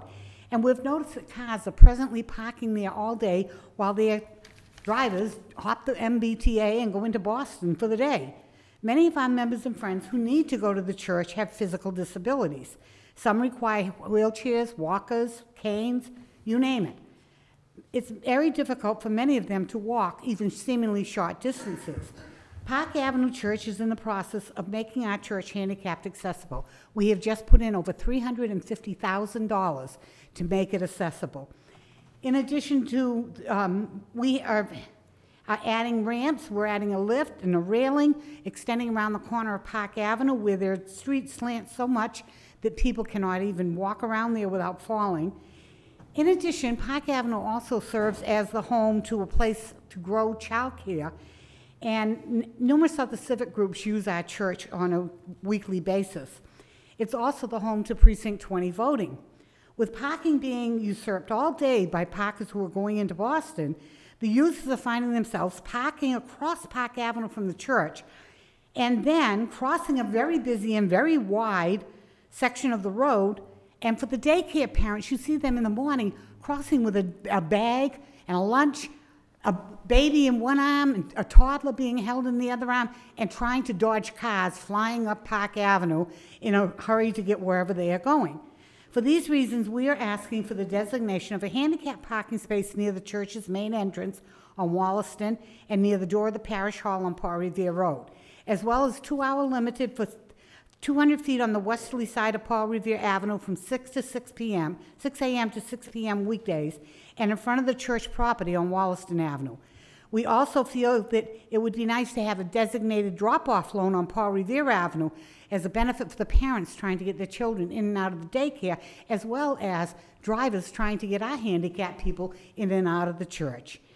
Um, the petition Marie has and will be given to you, and we're hoping that you will grant our request, as it would make it very, very convenient for our members. Thank you very much. Thank you. Thank you. Would it be appropriate to refer that to the parking subcommittee or, You want to, um, uh, make a motion to move receipt and refer to TAC? or TAC or Or parking? Parking Parking, subcommittee. okay, move, rece- Is that move appro- receipt and to, Second. refer to parking, sorry. Any further discussion? No. All those in favor, please say aye. Aye. Thank you. Uh, So the parking subcommittee will schedule a meeting and uh, take a look at the request, and we'll have, I'm sure Officer Rateau, who is the regular, is the member of that committee, among others, will weigh in. So we'll definitely, uh, that, that subgroup will look at it, make a recommendation, and come back to the full board. Thank you very much. Thank you.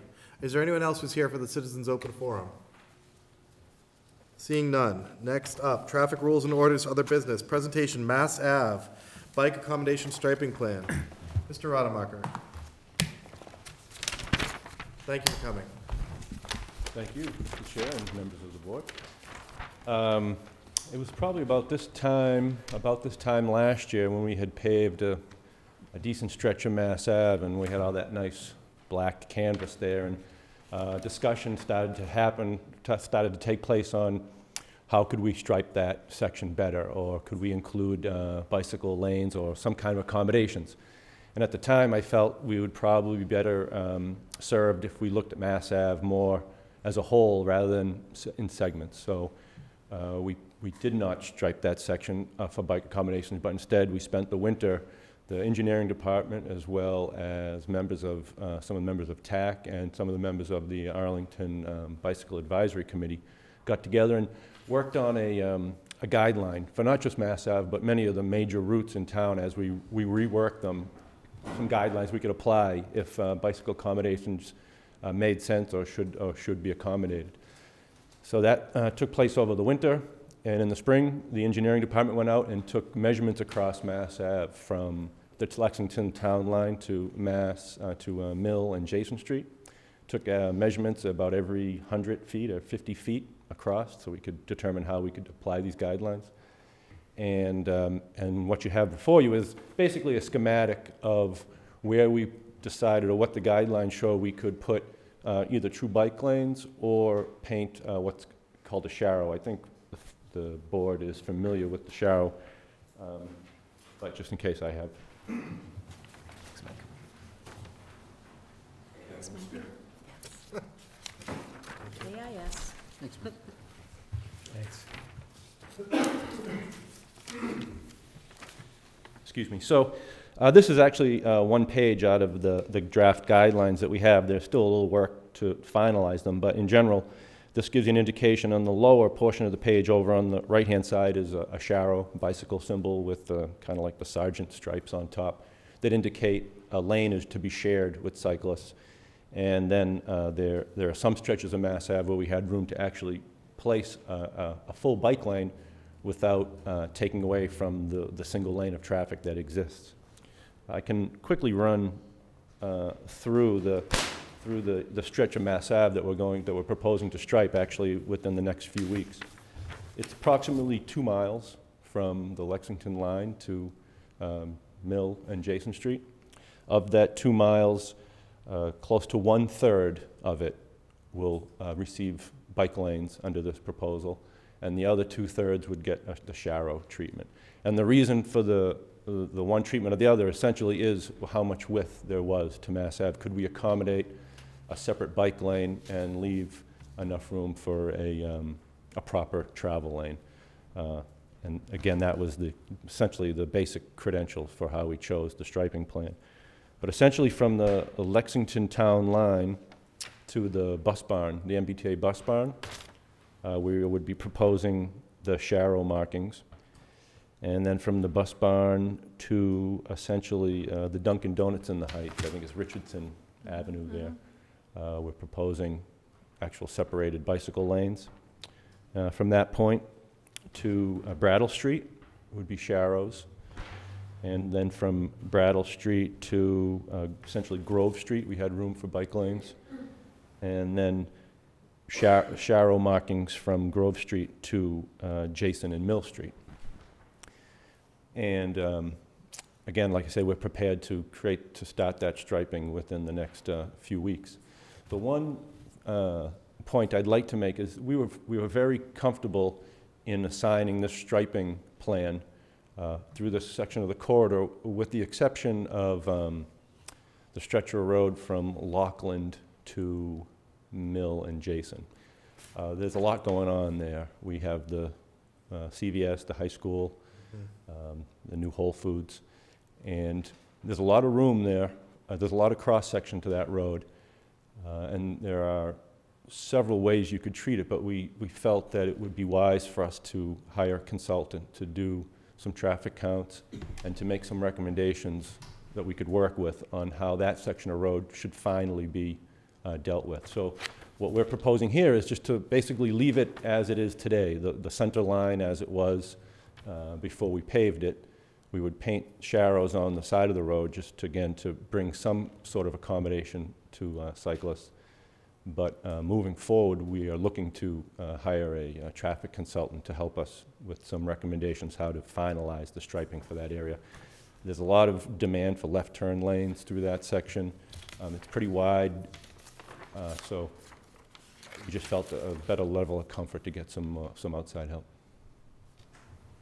And so you're asking us to just move receipt tonight? Yeah, we're not, what we're proposing will not change any lane configuration or any changes required to the traffic uh, rules and orders. Essentially wanted to um, bring this to the attention of the board. I know uh, it was discussed a year ago, and I, at that time, said that we would go and go through this process and try to come up with some kind of policy guidelines and apply it to Mass Ave, and I just wanted to present it to the board. Thank you. I'll move receipt.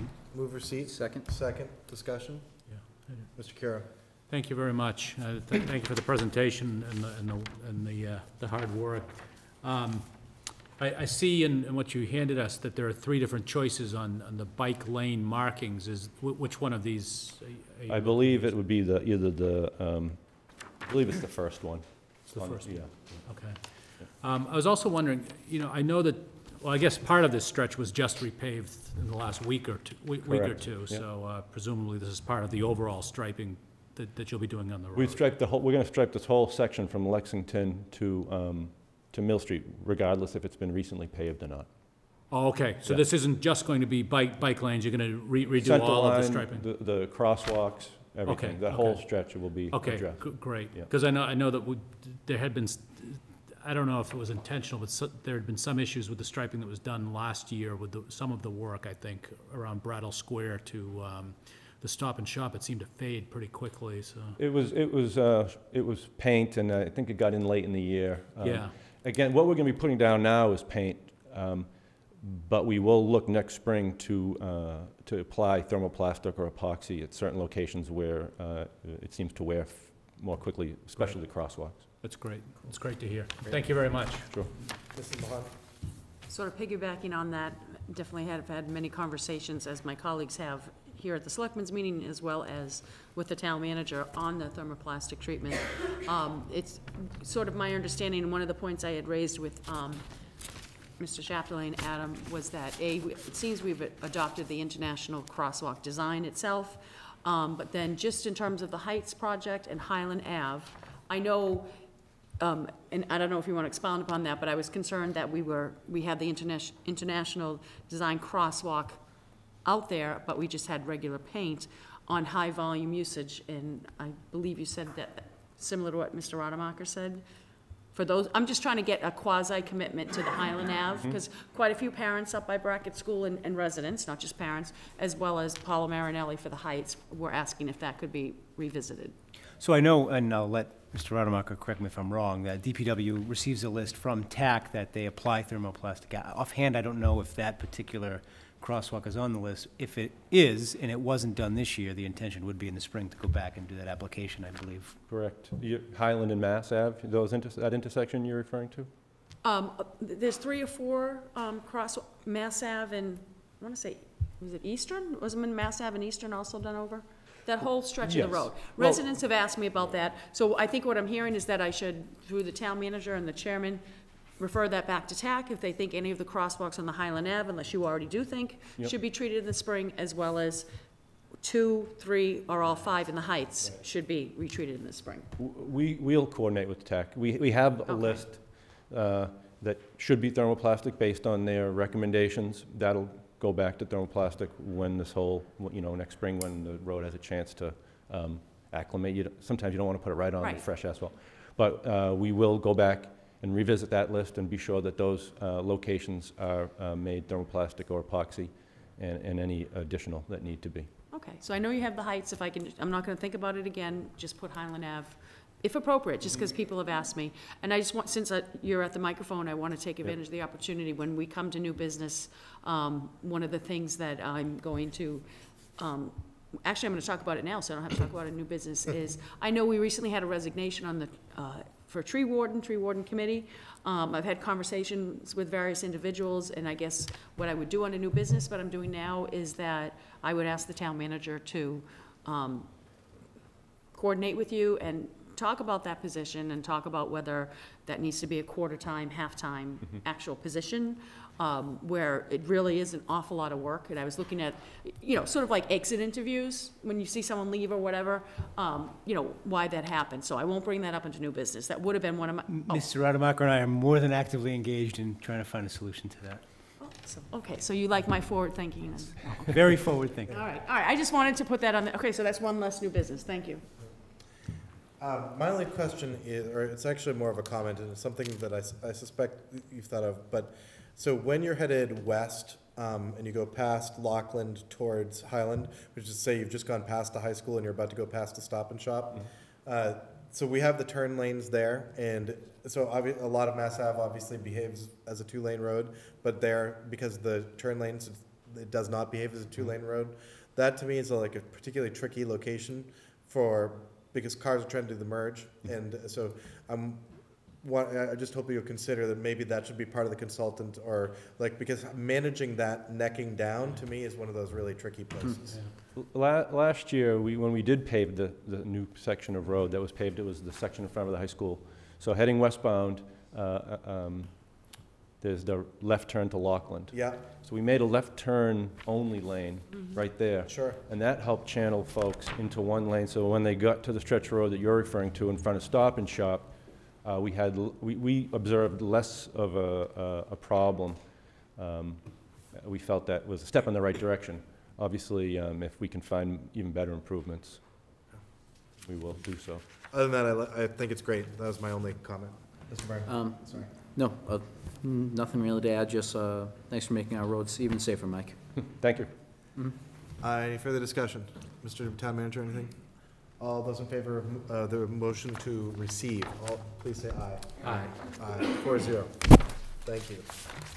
All right, next up, we have a request for a residential handicap parking sign at, um, nine Milton Street. Mahmood Arshad? Mr. Arshad? Move approval.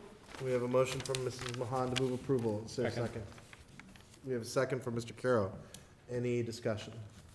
No, Just that I went down and I've reviewed this application and it has very unique circumstances, and I certainly can understand why they're asking for it and why there's no objections to it. Yeah, I have no objection either. I just want, Mrs. Mo- uh, Mrs. Krepelka, when he comes in for the permit, he, uh, just remind him, still no overnight parking. Uh, yeah. In that it's not only his. Eh, That's true. Yes. All right, uh, any further discussion? All those in favor, please say aye. Aye. Aye. Approved four zero. Next, Gray Street. Richard Turco, Chair, Transportation Advisory Committee. Our favorite people. That means we're gonna pass something off to you to do. Came very close to it. Good evening. My name is Rich Turcott. I'm the co-chair of the uh, Transportation Advisory Committee. Jeff Maxtutis, who's the vice chair, is with me, and Elizabeth Carr Jones. Uh, Elizabeth was the working uh, group leader of the Gray Street project, and I and Jeff assisted her as a member of that working group. So I thought we thought it made more sense to let Elizabeth make the presentation, and uh, Jeff and I will be available for to answer questions as well. Thank you. Welcome, Elizabeth. Hi there. Um, So tonight, we're, we have a set of recommendations on uh, Gray Street. Um, Like many of the town's urban collectors, Gray Street has, has a fair amount of traffic um, and a fair amount of pedestrian uh, traffic and crossing. So, um, you know, over the years, we've heard complaints in two specific areas, um, you know, came to our attention through the Safe Routes to Schools and through the, through the town, that um, we thought we should take a look at the entire roadway um, in terms of pedestrian um, crossing issues and see if we could come up with something that, um, a plan that, that made sense for um, the specific problems. Essentially, um, if you divide the road in half, you look at it on the west side of Highland Ave and the east side of Highland Ave, um, you know, there are two sort of areas where people cross that don't have any crosswalks currently. So um, uh, we looked into several of the streets that are crossing um, Gray in those areas. Um, uh, Churchill was a specific request. Um, Now, the, uh, uh, we, we did data collection on all of these roads, and the number of pedestrians crossing at Churchill was rather low, not really high enough to warrant a crosswalk. But we did notice that there was a visibility, uh, line of sight issue for the cars, um, you know, coming up from, um, from the east, so going um, away from uh, Pleasant Street. going towards Highland. And uh, so if anyone tried to cross there, um, it- you know, very often a car would, wouldn't see them in enough time, you know, given the, the roadway's uh, uh, speed.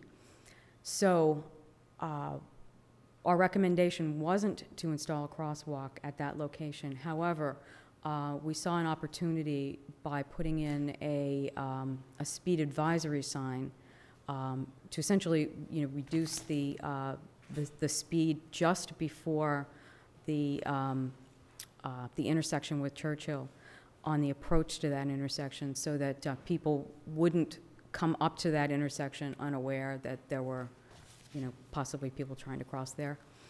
Um, We also looked at Valley Road, which is um, the next intersection up from Churchill. Um, And the reason we looked at that one was that the, um, or excuse me, the Bishop School has a bus stop there.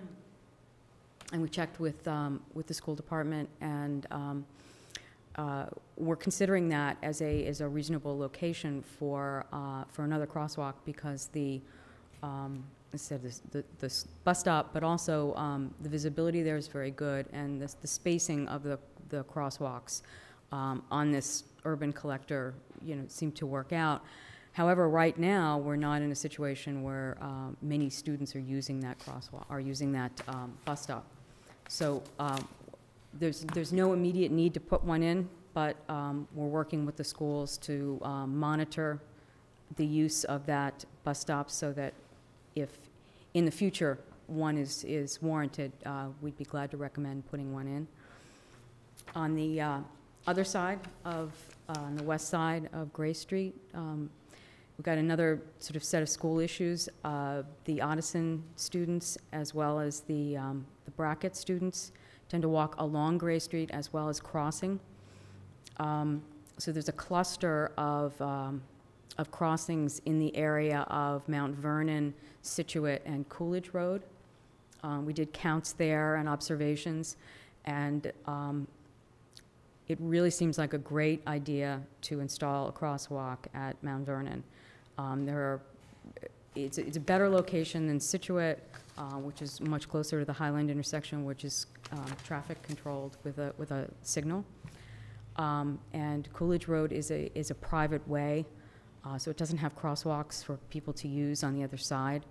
Um, And uh, so Mount Vernon seemed like a, a- an excellent location, gets a fair amount of use um, by Brackett parents and, and students. Um, It's about equidistant between the other existing crosswalks, and the visibility is, is very good. Um, So I think that's the, that's the set of recommendations that, that we're looking at here.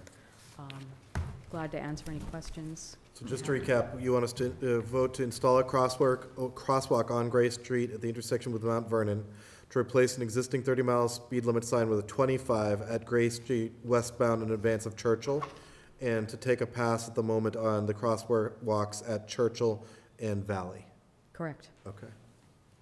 Um, uh, Thank you very much for this, as always, very detailed. Um, Are we actually changing the speed limit, or are we just recommending that people go a little slower? Um, It, it would be a speed advisory sign. Now, there's already one speed advisory sign on Gray Street. It's the 20 mile an hour on the approach to uh, Jason Street. Um, And a speed advisory is not a, um, it's not a legal speed limit. Um, What it is, is, is a way of um, essentially uh, giving people advance warning that there's a reason that they should keep their speed down. See, the, the situation we're in is that the speed limit, even though it's, it's 30 at the intersection of Churchill, um, we're getting speeds that are in excess of that on the roadway. Um, So what we're trying to do is essentially bring, bring the speeds of the, the traveling cars down to the speed limit. Um, And in order to, um, you know, encourage that sort of behavior, um, a uh, speed advisory sign is, is often a good way to do it. A friendly recommendation seems fine to me. Further discussion and a or a motion? Um, Move approval. Mr. Yeah, second. Second? Any further discussion? Uh, I, I would just say that this, this whole, if I'm not mistaken, this whole issue of, of the speed limit, w- our hands are tied by the, by the state. And I, I've talked to other, um, officials from other communities who are very, have been very frustrated by this, who are in similarly dense communities as, as ours, by the inability of, uh, local communities to, to make that lower at, at certain places, so. Um, seems, seems like a creative solution to, uh, try to get the point across. Jeff, you're whispering at us. Yeah, Yeah, I was just going to add, you're absolutely right. The state uh, controls control of uh, two things, absolutely, on all roads, regardless of jurisdiction. Uh, One is uh, truck prohibitions, and the other is speed limit. Yeah. And the only uh, thing that we can do as a, a town, well, you can petition the state, but you may not like the results if you petition based on speed study, 83rd percentile. Um, But we can, where it's um, warranted, uh, put a speed advisory. In this case, there's a, um, a vertical curve, a crest, which limits the sight distance to about 170 feet. So 170 feet, 25 miles an hour is more appropriate. So we, we can put as, acting as a traffic engineer for the town, a speed advisory plate, but we can't change the, the posted speed limit entire road. I know it's confusing, but that's the, Yeah, that's no, what we have to it's work with. crystal clear. Mr. Byrne? Um, Just one more question. I'm looking at the map on back. Is it going to be a four-way intersection or just across Mount Vern, uh, just across Gray? Or it will go, like, f- will there be four crosswalks, I guess, is? Oh, you're asking, w- will it be on both sides of Yes. Mount Vernon? Um, no, we did not recommend the specific side of, of, um, of the street because, um, it really could be either side, and we'd like to leave it to engineering judgment on which, which is better, given drainage and, and other issues. Um, so it would be one crosswalk on Gray at Mount Vernon on either the west or the east side of the intersection. Cool. Thank you. I have a question from the audience if you want to come on up. Yeah? Just introduce yourself. I'm Sarah Hugenberger. I live at 33 Walnut Street, and um, we've just sort of been in correspondence about the crosswalk at Mount Vernon, and um. Jones suggested that I come and support it, so. um, I'm a Brackett parent, and I'm a, one of the Safe Routes to School coordinators for Brackett as well. And my extensive email is on page five of that report if you want to read that. But um, just in sum, there are a number of families from my neighborhood who do a uh, walking school bus, and even more families that kind of informally hop on to that walking school bus as we go up. And right now, when we cross at Mount Vernon, we might have a group of 10 people, two adults, and you know, eight to 10 kids, and cars you know, go through like they can't see us. Um, I understand they don't have a legal obligation to stop for us, but it's a little bit amazing how many people don't just want to stop for a group of kids trying to cross the street. So we're really looking forward to the idea of crosswalk there, and we hope that it was approved. And um, it would be the only crosswalk between Highland and Quincy that leads to a street that has a sidewalk the whole way up. So that's an issue in the winter. Um, where there's no sidewalk, people obviously are not shoveling their front lawns out for us, so we're in the street. So this is a great combination of sidewalk the whole way and ideally a crosswalk as well. So thank you. Thank you. Further questions or comment? All those in favor, please say aye. Aye. Four zero. Thank you very much. Thank Great- you. Very helpful. Next up, uh, approval, Day Hill Family Memorial. Is there anyone here who wishes to speak on that from the Memorial Committee? Yep, come on up. Can you introduce yourself? Hi, I'm Claudia Dayhill Hughes from 20 Webster Street. And this is my uncle, Tom Dayhill from 223 Broadway. Welcome. Thank you. And we request the uh, intersection of Allen and Broadway, the uh, intersection that my great-great-grandfather built a house on that street, uh, be named the Dayhill Corner in uh, recognition of my uncle, my dad, my aunt, my other uncle, and my sons and my cousins who have all been served in the U.S. uh, services. And uh, be kind of neat if we could name that section of area Day Hill Corner. Yeah. So we received your correspondence, we sent it to the Public Memorials Committee. Um, They gave you a ringing endorsement that they thought it was a very appropriate. Um, Thank So uh, is there a co- motion Move and comment? approval. Move approval from Mr. Second. Mahon, second by Mr. Curro. Comments? Um, Disclosure, I've known Ms., Mrs. Hughes, Claudia, for, for many, many years. Um, I don't know if either one of you just want to speak briefly. It just re- was really impressed by, you cited many relatives starting from World War II all the way up to, was it Desert Storm or Persian Gulf? Persian Gulf.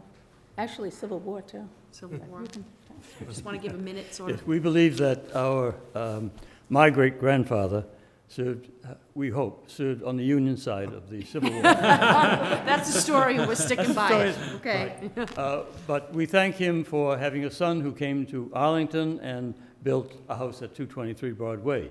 And his son, his oldest son, oldest child, was my father, Thomas Stahill, who served um, in the First World War uh, as a sergeant major. And uh, in the Second World War, we have a whole slew of people. Uh, My sister Helen, uh, she uh, served uh, in the waves in uh, Bethesda, Maryland, in the hospital, uh, Naval Hospital. Uh, My brother Charlie got in at the last moment, and he was in the Navy, uh, and he actually went overseas. He went to Cuba. We, we chide him about that all the time. Uh, And uh, I spent a little time in the South Pacific as an aerial navigator uh, for the 13th Air Force. Uh, And then my youngest brother, finally, he was too young for the Second World War, so he uh, served in the Navy during the, um, the Korean conflict. Uh, And today, we are very proud to have my namesake, Claudia and Charming, yep. Kenny's My son, son, Tom. Thomas. Uh, Yeah, there was, there, this is the fourth Thomas to serve um, uh, in, uh, and he's in the uh, U.S. Marines. Um, But there, uh, the first Thomas served in the Union, we hope, Army. And uh, then the second Thomas served in the First War, I served in the second, and now we have another Thomas serving it today. Great. We want to thank you very much for the Dayhill family. I want to thank you, and I just, my dad's bone of contention, he served in the Korean conflict in the DMZ Yep. Yep. zone, and he told me, he calls it the Korean War, because there were bullets going over. We know He it always wasn't a takes his- war. We know But it it was wasn't a Korean war. conflict, But I we can call understand. it conflict. Thank you. Yeah. Thank you very Um, much. I I think it's a wonderful thing that we can honor your family for their service with this. I think I'm delighted to be able to do it. By the way, we had a, we had a family get-together on Saturday, and we were shocked and surprised and elated when Claudia presented us with this Oh, they, material. they were So- all in tears and uh, very happy Oh, that uh, they were recognized. And uh, tell them the story about what your father said about people moving into the house at 223, hanging Okay. at the corner. Oh. Tho- Those are family stories. Yeah. That's Thanksgiving time. It goes that he had told them when they moved in, don't, he didn't expect to see them hanging in the corner, and here we named it, Front Main Street corner. Wow. Thank you. All right. Thank you very much. All those in favor, please say aye. Aye. Four zero. Thank you very much. All right. uh, It is eight fifty-five, but we're getting towards the end, so I think we're gonna plow on through. That'd be great. Next up is the discussion of the board designee for the e-packet assignment. All four of us, put your finger to your nose. Hmm? Mr. Greeley is now Sec, I make that motion. Move, Mr. Greeley. Adam, would you like to talk us through this one? So just very briefly, as the board knows, uh, it set one of its goals to move towards an e-packet for the board's agenda and for the staff. Uh, So I was asking for a designee to work with a member of the IT department, our new systems analyst, as well as a designee from the school committee, so we could devise a system that both uh, the board and the committee could use. Uh, So we'll include staff from the board's office, but we thought it was very important to have someone from the board, and I think Mr. Greeley would be a, a perfect fit for that role. So, all kidding aside, is that? Yeah, so that's cool. moved. Uh, So moved. Second. Second. Any further discussion? No. Um, All those in favor, please say aye. Aye. Thank you for moving forward on that. I'm Thank really you. looking forward to seeing what comes out of it. Asthma. Next up, Mrs. Mahon, on approval, no parking signs on Boulevard Road and Lafayette Street. Yes, I'd like to move approval. We have received uh, correspondence from Officer Corey Rateau. We have Richard Gove, G-O-V-E, from DCR. Um, The signs have been made. Um, They just need to coordinate with the town, and I've given that information, name, number, contact to the town manager. So I'd, I'd like to, A, make a motion to um, let this particular part of the DCR dilemma down on the Greenway, Greenway commence, and then I would have a an an additional comment on additional item. So what's the, what's the motion you're making first? Um, the motion to, um, as recommended by Officer Rateau, to, um, make the following permanent changes to traffic rules and orders, Article five, Section two, Schedule one. And the, he has it outlined in our board information exactly what it is. Uh, Mr. It's basically to put the no parking signs back up that were there before the Greenway. Mr. Byrne? I'll second for discussion, yeah. Um, So I, I do have a couple questions. One, it doesn't really look like Mr. Rateau is endorsing this throughout this uh, statement right here. And when we, when you, we s- spoke about it briefly last week, it sounded like, you know, there were signs, they were taken down, we were simply putting them back up. But now we're getting into what is essentially a bylaw change.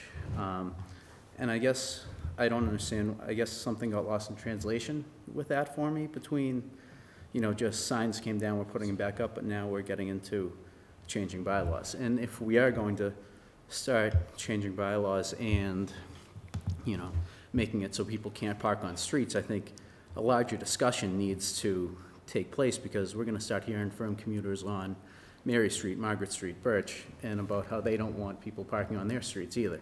So I am, a you know, a little um, concerned about making this bylaw change, and um, if, if you'd like to explain maybe something that I'm not understanding here, but otherwise I probably won't be supporting this. Um, Originally, the signs were up because there's a mass state law, and if anybody wanted this meeting tonight about, um, unless voted by the legislature, and I'm sure Mr. Byrne will probably be able to um, cite this better than I, um, having worked at the State House, um, you cannot park on abutting DCR land um, unless the legislature votes that you can do that. That's why the signs were originally up. So then when um, we started with the Greenway discussion on Boulevard Lafayette and Sunnyside, there were 10 or 12 items that Mr. Greeley and Mr. Chapdelaine and I met with the then Commissioner, DCR, Commissioner Lambert, uh, about getting those signs back up, because residents down there, we have no parking on both sides of Herbert Road, we have two-hour parking on all the feeder streets down there, and that was becoming an issue, especially in the winter, um, where it kind of bottlenecks down there. So DCR, uh, took them about a year, but they say, we have the signs, we're ready to put them back up. And then what happened was, I happened to be in the selectman's office with uh, Officer Rateau, Mrs. Krepelka, on a totally unrelated matter, and he said, I know there's that state law, but to make it um, sort of be in concert with our traffic rules and orders, we should really have it in there too, just to make sure that we're sort of, you know, crossing the T, dotting the Is. So that's sort of the, e- the evolution of it. Um, the neighbors were saying, you know, now that those no parking signs didn't go back up, it's really become an issue down there. It's not in concert with other traffic rules and orders in terms of no parking completely on each side of Herbert Road, two-hour parking on Magnolia, Fairmont. And the neighbors just said, can you put the signs back up? And Officer Rateau said, why don't we make our traffic rules and order, sort of um, piggyback bicycle with the Mass State law regarding parking um, adjacent to DCR. It used to be MDC, but now DCR land. Mr. Curro? I mean, I think in principle, I don't have a problem with this, but I wonder if we shouldn't post it as a public hearing, just, just to let, let the abutters come in. ju- just in That's what case this, we talked about it the last, and then we said we're gonna post this. Okay. I mean, if, if you all want to do it, I'm just trying to follow up on, you know, what we got from the residents down there, just to get the signs back up. And Officer Rateau said, you know, we can just, to be sort of uniform, have it on our traffic rules of orders, rules and order. Yeah, yeah. And so when, I'm just curious, uh, so this conversation, you, Mr. Curro? did- or- Yeah, that's fine, that's Uh, fine. Um, so when the, so the Sunnyside discussions of the DCR stuff started before I was on the board, and you've been a lot more involved with it than I have. Can you just tell me a little bit, like, so I can uh, understand, when we, when were the um, resident conversations, and what was the context of that, about the signs? The Greenway project took five years, Yep. which is longer than we anticipated. Sure.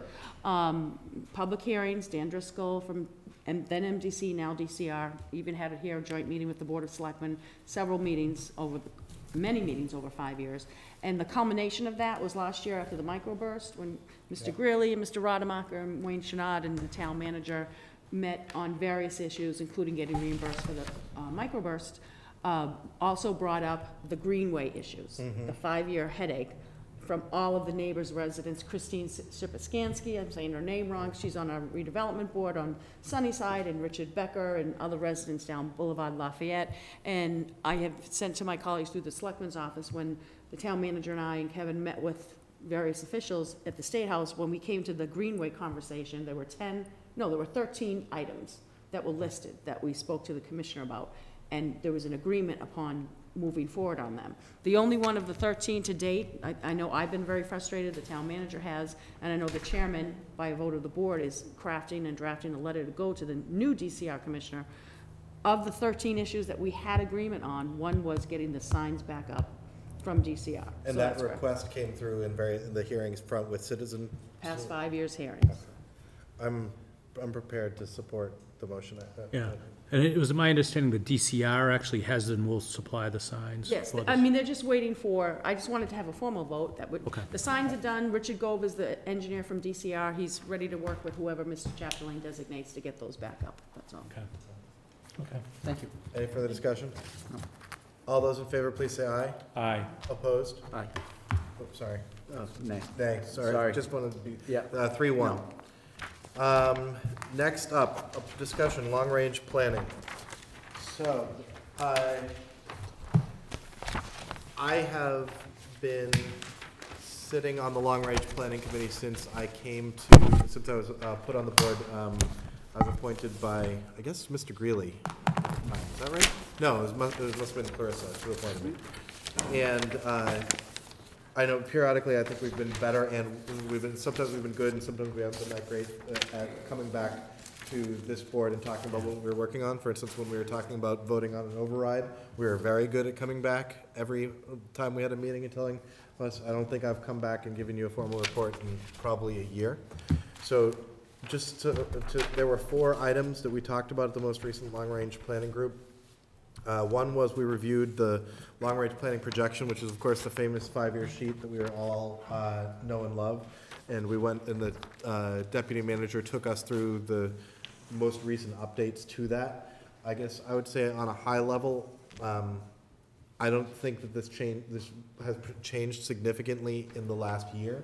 I mean, there have been a number of minor changes, but in the, in the big picture, 2019 is the year that we dip uh, to the negative. Um, And I know, and uh, we are, is, it- do you plan on going through this in so- in any level of the budget and revenue task Oh, force yeah, I'll next go, week? I'll go line by line Okay. of budget and revenue. So we're going to go through it in detail. Is there any, does anyone on the board wish to go through it in detail at this particular meeting, or should we wait until next week? Next week, sounds good. I just have one, Yeah, one, please. one comment to leave on the table, just Yeah. because the town manager was very gracious in sitting with me for about 30, 45 minutes. um, And this could be part of the presentation. I'm very challenged by graphs and sheets and Yeah. accounting and numbers. So one of the things that I had sat down with the town. Actually, Mrs. Mahon, um, I, I was going to get to the. Oh, uh, we're not yes, discussing I- that. I was starting with that. that Oh, first okay, item, okay. if that's okay. Sorry, I'm on OPEB. Yeah, I yeah. apologize. We'll get to OPEB, it just, I, apo- I wasn't Nope. clear. Um, my only general comment for the board, and this is something that, you know, I said at the state of the town, and I've said it, um, i- i- in, various forums since then, and I've said the long-term planning, I'm gonna say it again at Budget and Revenue Task Force next week, but I literally cannot say it enough, is that, uh, two thousand nineteen has, uh, a so we are, uh, as everyone knows, we have a structural deficit, which is to say our expenses grow faster than our revenues. And the last override, plus the GIC, plus a couple other things, including more money from the state, have made it such that lo- plan is gonna last longer than, than we expected. That's the good news. The bad news is, is that by the time you get to 2019, that structural deficit has accumulated to um, a gigantic number. It's short, uh, what is it, 7 million or something like that. And I think that we, as the only body that can put um, an override question on the ballot, are going to be, I think we're good, I strongly suspect that it would be foolish of us to wait until 2019. And I suspect we're gonna have to come up with some sort of smart conversation that, um, because if we, if we put a, a question on the ballot and it fails, which I think would be a completely, you know, that is definitely a possible thing that's out there, it would be a complete train wreck. And if we waited till the last minute and played chicken with our budget. And so I think that we should we should be thinking about the fact that in some future year, we're gonna need to put a question on the ballot such that we can make smart planning without playing chicken, um, with our budget. So that's my, And, and quick question on Yes. this, is it inherent by the, um, comment on the bottom that when we do have the Budget and Revenue Task Force meeting, will we have any sort of estimates, projected doables in terms of Arlington High School and or Minuteman Voc? No. those are not items three, yeah, those are items three and four. Okay. I didn't write them down, Mrs. Mahon. There's absolutely no way that you could know this was entirely in my head. All right. Exactly. Okay, okay. Item number two, uh, OPEB. Uh, So this was an update on the status of the OPEB, uh, that is the uh, other post-employment benefits. So this is beyond pension in particular, this is the health benefits that we owe our retirees. Mrs. Mahon. Um, I did have a good 30, 45 minute meeting with, um, the town manager because I had taken the consultant's report, 2011, actually it was proposal and report that he presented. And, um, there were just two, one of my main operating functions is that because I'm so challenged by different graphs and comp- compilation of numbers is one of the rules I was sort of taught. If, if you're talking about a large group of people, or numbers of people, you see the same two numbers match, that's something that you should um, kind of look into. So I did meet with the town manager, and um, he also said he noticed the same thing in terms of having the same number of actives for 1-1-12, as well as the exact same number for, number of retirees for 1-1-11, which are two different, different um, subcategories, subsets. And then the only other thing that, uh, but the town manager, I think, and you can correct me after this, that I sort of, um, because I try to match the number, I take the report and try to match the number to what's before us, is the total unfunded liability, the one sixty-seven, four fifty-four, one hundred number, one hundred and sixty-seven million, was sort of from a proposal, and when I looked at the report that we got from the outside consultant group for OPEB, the number was one sixty-nine, four eighty-eight, something. But I think, I forget what you told me, that that's okay, that that's a different number. So the, the, the number of the liability is from the report that's as of January first, two thousand twelve, but as of January first, two thousand twelve, there was only a certain amount of assets accumulated. So what we put into this chart was the actual amount of assets accumulated to date to offset the liability as of two thousand twelve, just to give a more accurate picture of what Arlington taxpayers have put aside to offset the OPEB liability. Okay, so I shouldn't worry about the one sixty-nine number, that was a projection, the one sixty-seven is actual. Well, I will, I'll say, it's very, very important in terms of OPEB. None, none of this, aside from the accumulated assets, is actual. They're all snapshots in time on, a- on a very large dynamic projection that has a number of variables in it. So, eh, looking at any of these figures like they are an account that says we absolutely owe or we absolutely have would, would be so, uh, too hard and fast an approach. Um, You know, if you did the snapshot a month later or six months later, those numbers would change. And when it's updated again, those numbers will change again. So what I would say is, it's, it's fair to say that as of January 1st, 2012, the town's total OPEB liability was 174 million, as is highlighted in red on the sheet. Mhm. Uh, But if you look at what we have today in accumulated assets and earnings on those assets, that $6.6 million figure, that Mhm. would bring what our, the best number we have for a projected liability down to that $167 million figure. Thank you. I get, my comment on that is that having, uh, is that the total unfunded liability number, because when the retirement board asked for that report, uh, it has fluctuated by, you know, tw- uh, more than twenty-five million dollars, I think. And it isn't because people are making things up so, so much as the, the tools to provide estimates that are far into the future are really challenging, because they involve things like how long are employees gonna live, and, and stuff like that. And it's, uh, it's more, it's as much art as science, and so it's, I mean, it's a big number. That's what we need to remember. What the actual number is, is gonna matter someone else, someone else in the future. Um, Thank you. My, so my next two items, uh, under long-term planning were, we talked about, and I shouldn't say, of course, that, uh, Mr. Curro, uh, is on, serves on that group as well. Was the Minuteman High and the Arlington High School. Minuteman High, uh, is, there's been a lot of progress made this summer with a group that, uh, Charlie Foskett sits on in terms of coming to the changes, that, uh, agreement on the changes that we would need in the regional agreement for the town to find things acceptable. And uh, I think I've been pleasantly surprised at how much progress that they've made. And I know that a lot of their work has been backstopped by informal meetings of the town managers of the various towns. And so, Adam, did you have anything else you wanted to say about this at this time, or is it best to, or I guess I would say very soon there'll be a report that will probably be before the board in terms of considering changes to the regional agreement, which, as they currently stand, do improve Arlington's situation specifically in regards to how much capital we'd pay for any new building.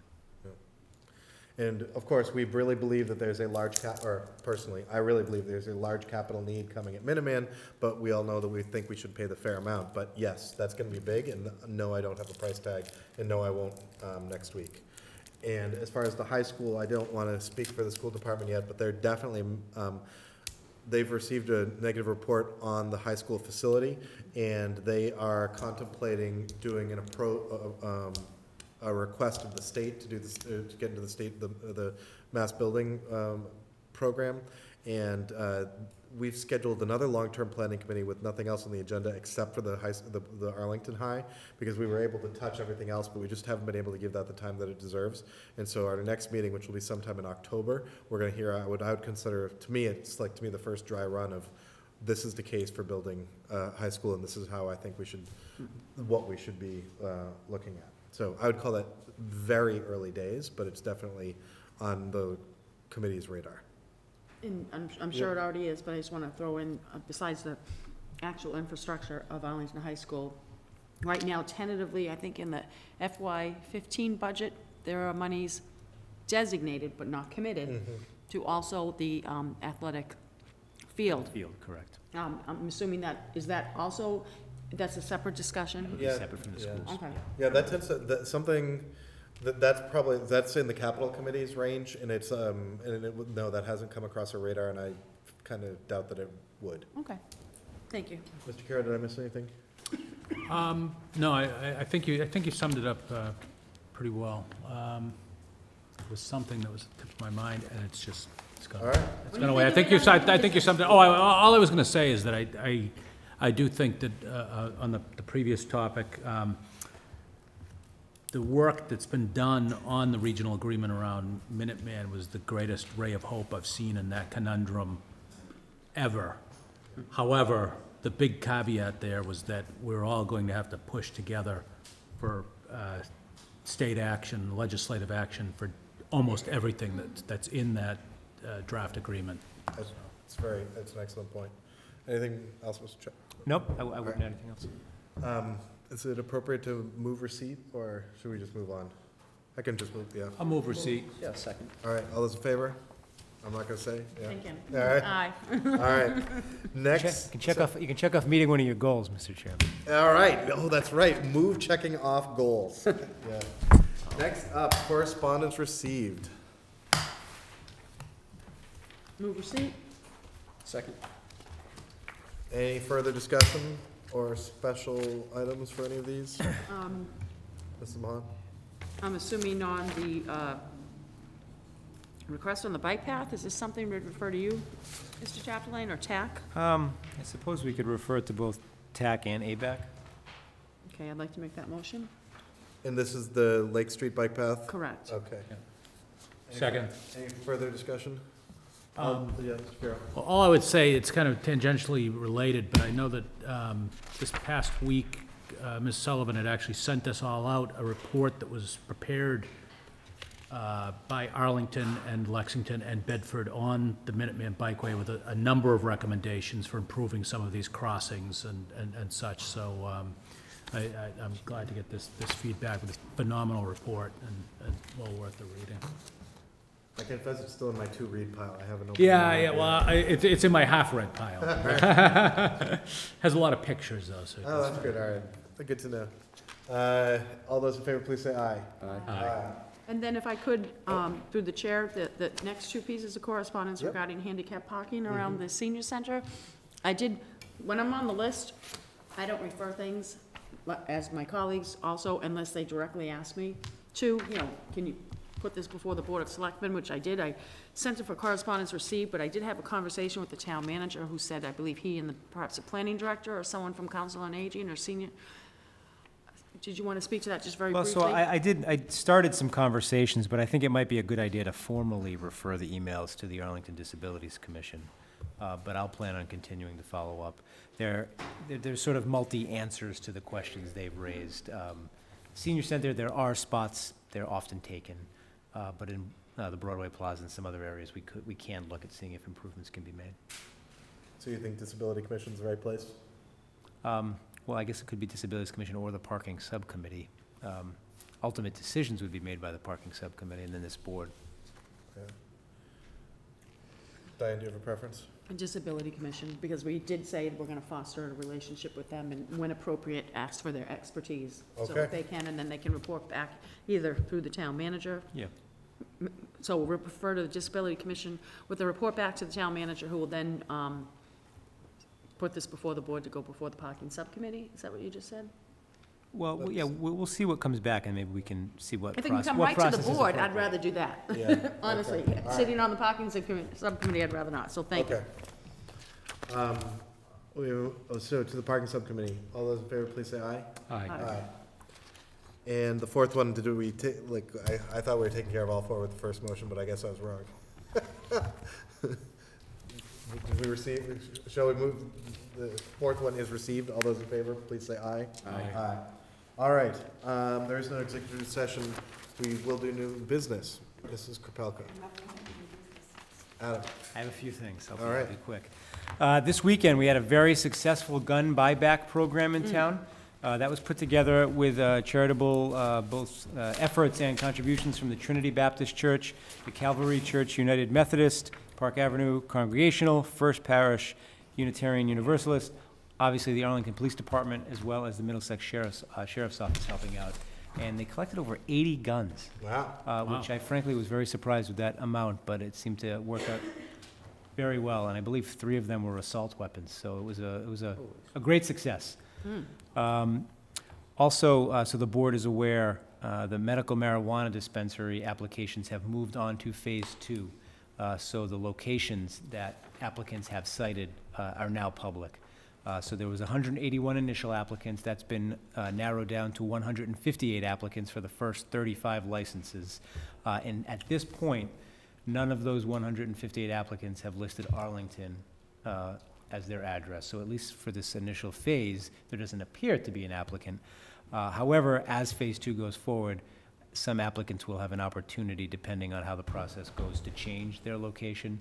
Um, We're still trying to find out exactly how that will happen, but I wanted the board to know that there's nothing imminent in terms of an application for Arlington. Um, You have an invitation on your desk to uh, an event called Incubation being put on by Arlington's Economic Development Officer and the Planning and Community Development Office. Uh, It's really to start a discussion about shared workspaces in Arlington as a means of economic development in town. So if you can be there, uh, that's great. If not, I'm happy to update the board on uh, how the event goes. Uh, And finally, I just wanted to give an update on uh, the search for a new town counsel. Um, We narrowed uh, over 30 resumes down to 10 interviewees. Those first round of interviews were performed last week. Uh, The first round interview panel narrowed that down to four applicants who will be interviewed this Thursday. And uh, from that round, uh, up to three will be referred to me uh, for uh, a hiring decision. So I will continue to keep you up to date on that. But we have some very good applicants, and we're very, very excited about the possibilities. So, of course, still sad to, to lose Juliana, but looks very positive. And that's all I have. Thank you. Mrs. Mahon? I already got two of the four, the thermoplastic treatment as well as the tree warden. I'll wait for Made it some easy. sort of report back from that. Um, The uh, other thing, just to leave through the chair with the town manager, um, the never-ending um, GIC comparable stat, uh, salary study committee. I'm really getting anxious. It seems like this is always on, you know, we said to the unions, get real, deal with it. If you want salary increases, you gotta join the GIC. They've done that. Um, I know we have a study committee, and I know there was an issue about putting out to bid and who, but, um, just kinda, as my father would say, trying to light a fire under. Um, I'd like to see that, some, some sort of report on that, or some movement on that. So I can tell you that uh, the initial uh, data that's being collected by the consultant actually came back today. I did this not know morning. that. I'm not asking. Swear I to haven't God. told anybody that, I, I, so. Okay, I did not know um, that. So it's, it's, it's initial and, um, we- more should be flowing in the next week or two. So there should be something more formal that we'll share with that salary study committee that Mr. Curro sat on and with the board as a whole. Okay, and, and I only say that because we really came down on the unions that if you want raises and you want your salaries to go up, you've gotta buy into this GIC, and, and now that seems to have flickered away. The um, other two items were uh, on the Greenway, five-year uh, malaise that we have um, down at Sunnyside Boulevard Lafayette. We addressed one facet of it, but there are 12 other points. Um, I've been very frustrated, um, and I believe as a result of the vote that we took at the last selectmen's meeting, that the town manager and the chairman are drafting a letter to go to Commissioner Murray, as well as, once that's done and has gone out, I'm gonna wait two, three days, contact the governor again, and just let him know that the person he gave as a contact, yes, did call me back, but I'm really doing everything I can, because I feel it's the town manager who should be um, working with anyone, whether it's Department of Energy, um, Rick Sullivan, where he is, I'm not gonna say his title right, or DCR, and unfortunately have not been able to make that happen, and I've been very frustrated that, um, that town manager really has been just sort of stymied and blocked, and it really hasn't, on this one individual project. And then, I don't know if you wanted to add anything to that beyond your drafting the letter? Uh, no, I, I am drafting the letter, and I'll say I'm still continually frustrated that maintenance, simple maintenance of the, it's a very nice amenity, but the simple maintenance is being neglected and trying And to then get the last thing, I would take advantage of the bully pulpit that the Arlington High Spy Spy Ponder football team, varsity football team, are three and zero. Last year, I think they were three and seven, and the year before, two and eight. Coach Dubinsky, Coach Stubbs, and his dad, well-known Everett Pop Warner coach, who's taken lots of teams to nationals. Um, our last victory, we went to Reading, which is ranked number fourth in the state division. They always go to the Super Bowl. We beat them, 17 to 14, took the lead from the beginning and uh, never looked back. And that, I can tell you, there were scouts from, usually when you go to games, as you all know, there's a scout from whatever team you're playing next. We had people there from Lexington, which is this Friday night. We had co- uh, co- coaches there from Woburn, which is two weeks out. And then we had, I think it was from Belmont. So they're really watching Arlington. So if you want to come down this Friday night, um, down at the high school, seven o'clock under the lights. I think it's gonna be nice weather too. It's really, I mean, lots of people in not only the division or the, but also the state are watching Arlington because I think they're gonna do really great this year and that's just a commendation to the coaches and staff as well as the players. It took two, three years to really rebuild, but to beat it, Reading and beat them at home. First time in five years that Reading has not won at home, so Wow. go Spy Ponders. Thank you. Thank you. Mr. Curro. Thank you very much. Just a few things. Uh, First of all, I want to thank Ms. Krepelka and our staff um, for a very successful uh, town day. It was a wonderful day. Um, And all of the, the other, you know, town staff who were involved and uh, community volunteers and businesses, our lead, lead sponsor, Cambridge Savings Bank. Um, It was very well attended and, uh, and a, a great day. Um, We're, um, the Tourism and Economic Development Committee, we're moving forward. Uh, Well, Mr. Rademacher is here. I want to thank, thank him. I know he's been working closely with reps from the committee on the, the uh, information, tourism information booth. Uh, um, I believe that's, that's uh, out to bid now, or, or has been, actually, been the- the- vendor Yeah. has been chosen, actually. So um, we're moving forward on that, um, as well as uh, with some of the designs on the signage that was approved by, by um, town meeting. Um, ATED also provided, and Ms. Krepelka provided some logistical support to the Uncle Sam Committee as well to unveil some of the historical signage, um, again, with Mr. Rademacher's department's help, um, at Town Day. Um, Some of the, the official signage that the town meeting had, had approved. Um, So we, we move forward uh, uh, little by little and, and trying to make some, some, um, some leaps forward. And actually, this report that I mentioned, the Bicyc- Bikeway Committee actually does mention the fact that, that Arlington is anticipating this uh, info booth at this, this point and, and how that's strategically placed along the bikeway. Um, Lastly, I want to mention that um, at the last uh, Youth Health and Safety Coalition meeting, um, I, I think we were all informed that, uh, that unfortunately this year, we did not receive the Drug-Free Communities grant that the coalition has re- relied upon. Coalition will be trying for that again next year. We'll see what happens. A lot of that is tied up with what's happening in, in Washington, though. Um, in the interim, some of the work that the coalition has spearheaded, I know, has been um, distributed. The Adam mentioned the the gun buyback program the police department did, but the police department has also graciously um, agreed to to pick up and continue the um, pharmaceutical collection, which um, is done at the police station. Uh, apparently, those boxes get incredibly filled very quickly with some really um, nasty stuff that really shouldn't be on on on the the, uh, the, the streets, and it's been a very successful program. We have a, uh, a local volunteer pharmacist who helps us out with that as well, with the sorting. Um, One other uh, item that was, uh, I guess, covered under the Drug-Free Communities um, grant, though, that is near and dear to us, uh, the alcohol compliance checks were actually funded through that. And so it's my understanding, just from preliminary discussions at the coalition, that uh, I guess there's some discussion about some proposals that may come back before the board as to how we can continue those, because they are a a pretty vital part of the- the licensing uh, that we do. So I, I thought that you all should be aware of that. I did not know that. No. I didn't either, honestly, I didn't, yeah. So maybe when we're talking about revising and/or drafting, editing our alcohol. Yeah, my understanding is that the Director of Health and Human Services is gonna be drafting some proposal for us. Correct. Is what I Yes. understood Okay. from the Yeah. coalition meetings. No, I'd hate to see those Yeah, fall. Thank you. thank you. Steve?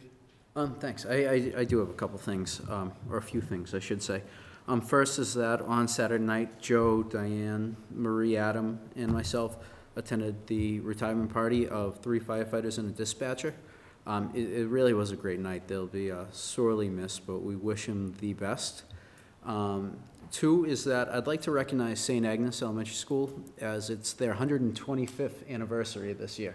Um, quite an accomplishment. Um, we're, we're working on a proclamation and the wording for that, so you'll be seeing more about it. And um, following up on Joe's comment about Town Day and Town Night, um, it, it was a, you know, wildly successful, and it just keeps growing and growing.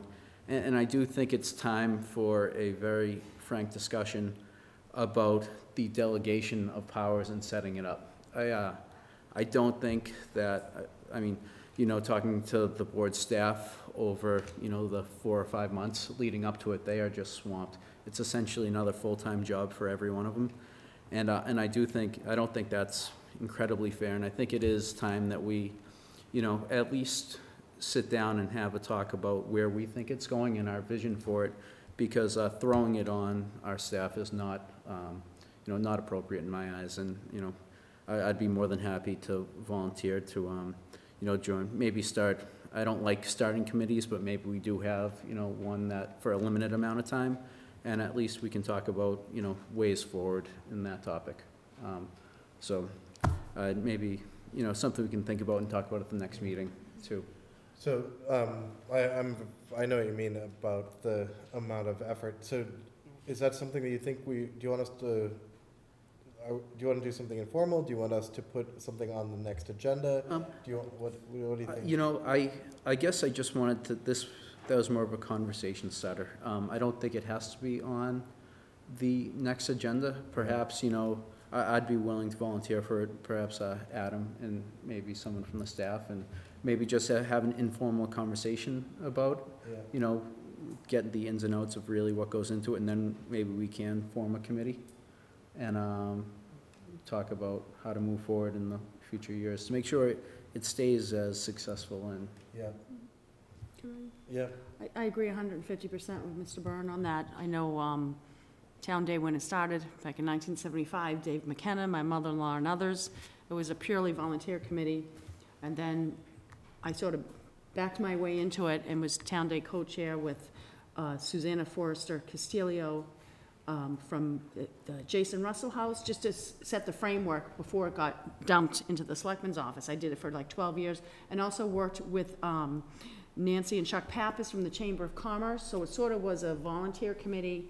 Um, I did it for 12 years, and unfortunately, what happened was, similar to when I was up at Brackett PTO, president for five years, I just, at some point, said I have to walk away from it. And because that hole was left, it fell into um, the- the selectman's office. And I really don't think that's appropriate, because it really, as Mr. Burns stated, is a whole job, you know, for the whole year long.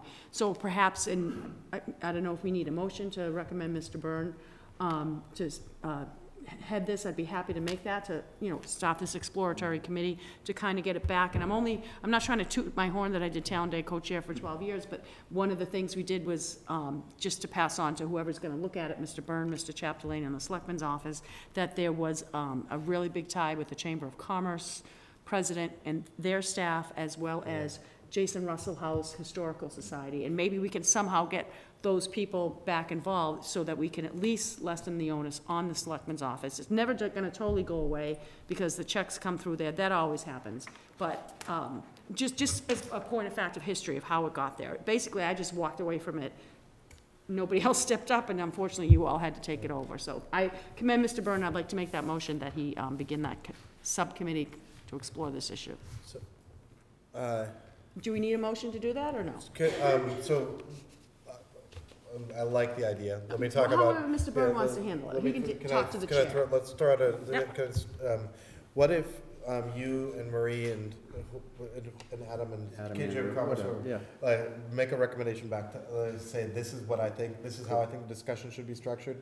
And maybe it's creating a committee, like, that involves, like, you know, some of the sponsors, or maybe it Mhm. involves some town employees, or s- see what you guys think is the best way forward, like, what's the right group of people to both, you know, twist some arms and do it, and then bring that forward, and then we can put our, our stamp on that. Is That sounds like okay? fun to me. perfect. And we'll call it a working group. Oh, yes, exactly. right. Working group, Yeah, okay. yeah. All right, um, anything else, Mr. Byrne? No. Thank you very Thank much. Uh,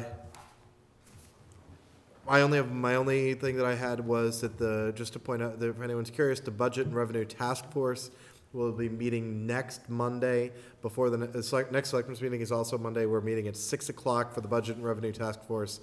And, um, I know, it was- it was talking to s- some members of the delegation are gonna be there. We haven't done one in many months, partly because we do it a lot when things are on fire and things aren't on fire, but I think it's a healthy thing for us to have conversations. If, um, members of the committee have items that they'd like on the agenda, it would be very good to get that to uh, us in the next, you know, couple days so that we can circulate them so that people can be prepared to talk about them. Uh, I know I want to put Minuteman on there, and uh, I think we should talk about state funding to municipalities, just on general principle. So those are the- my two items that I was planning on, and if you have anything else, um, you know, let's talk about it so we can put it out, because I'd like to put out an agenda on Thursday. In fact, I guess we, in fact, we must put out an agenda on Thursday, so uh, that's going to be our deadline. Anybody? Yes, Mr. Curro? I forgot one other piece of new business, Please. and I apo- I apologize. Um, I, I think since we last met, there, there've been two events down at Thompson. There's been the, the ribbon cutting for the school itself, but also this, this past Sunday, um, Mr. Chapdelaine and I were able to attend the uh, dedication of the library to Bill Shea. And uh, I, I just wanted to note that because the Books for Bill Committee raised hundred thousand dollars for, for books for the, for that library. And I, and I just, I think we have to note that because there was a lot of community um, outpouring uh, Yeah. for that effort. So I, I'm, I'm sorry to, No, it's fine. to- to jump in and forget that. His memory is a very powerful motivator. Indeed.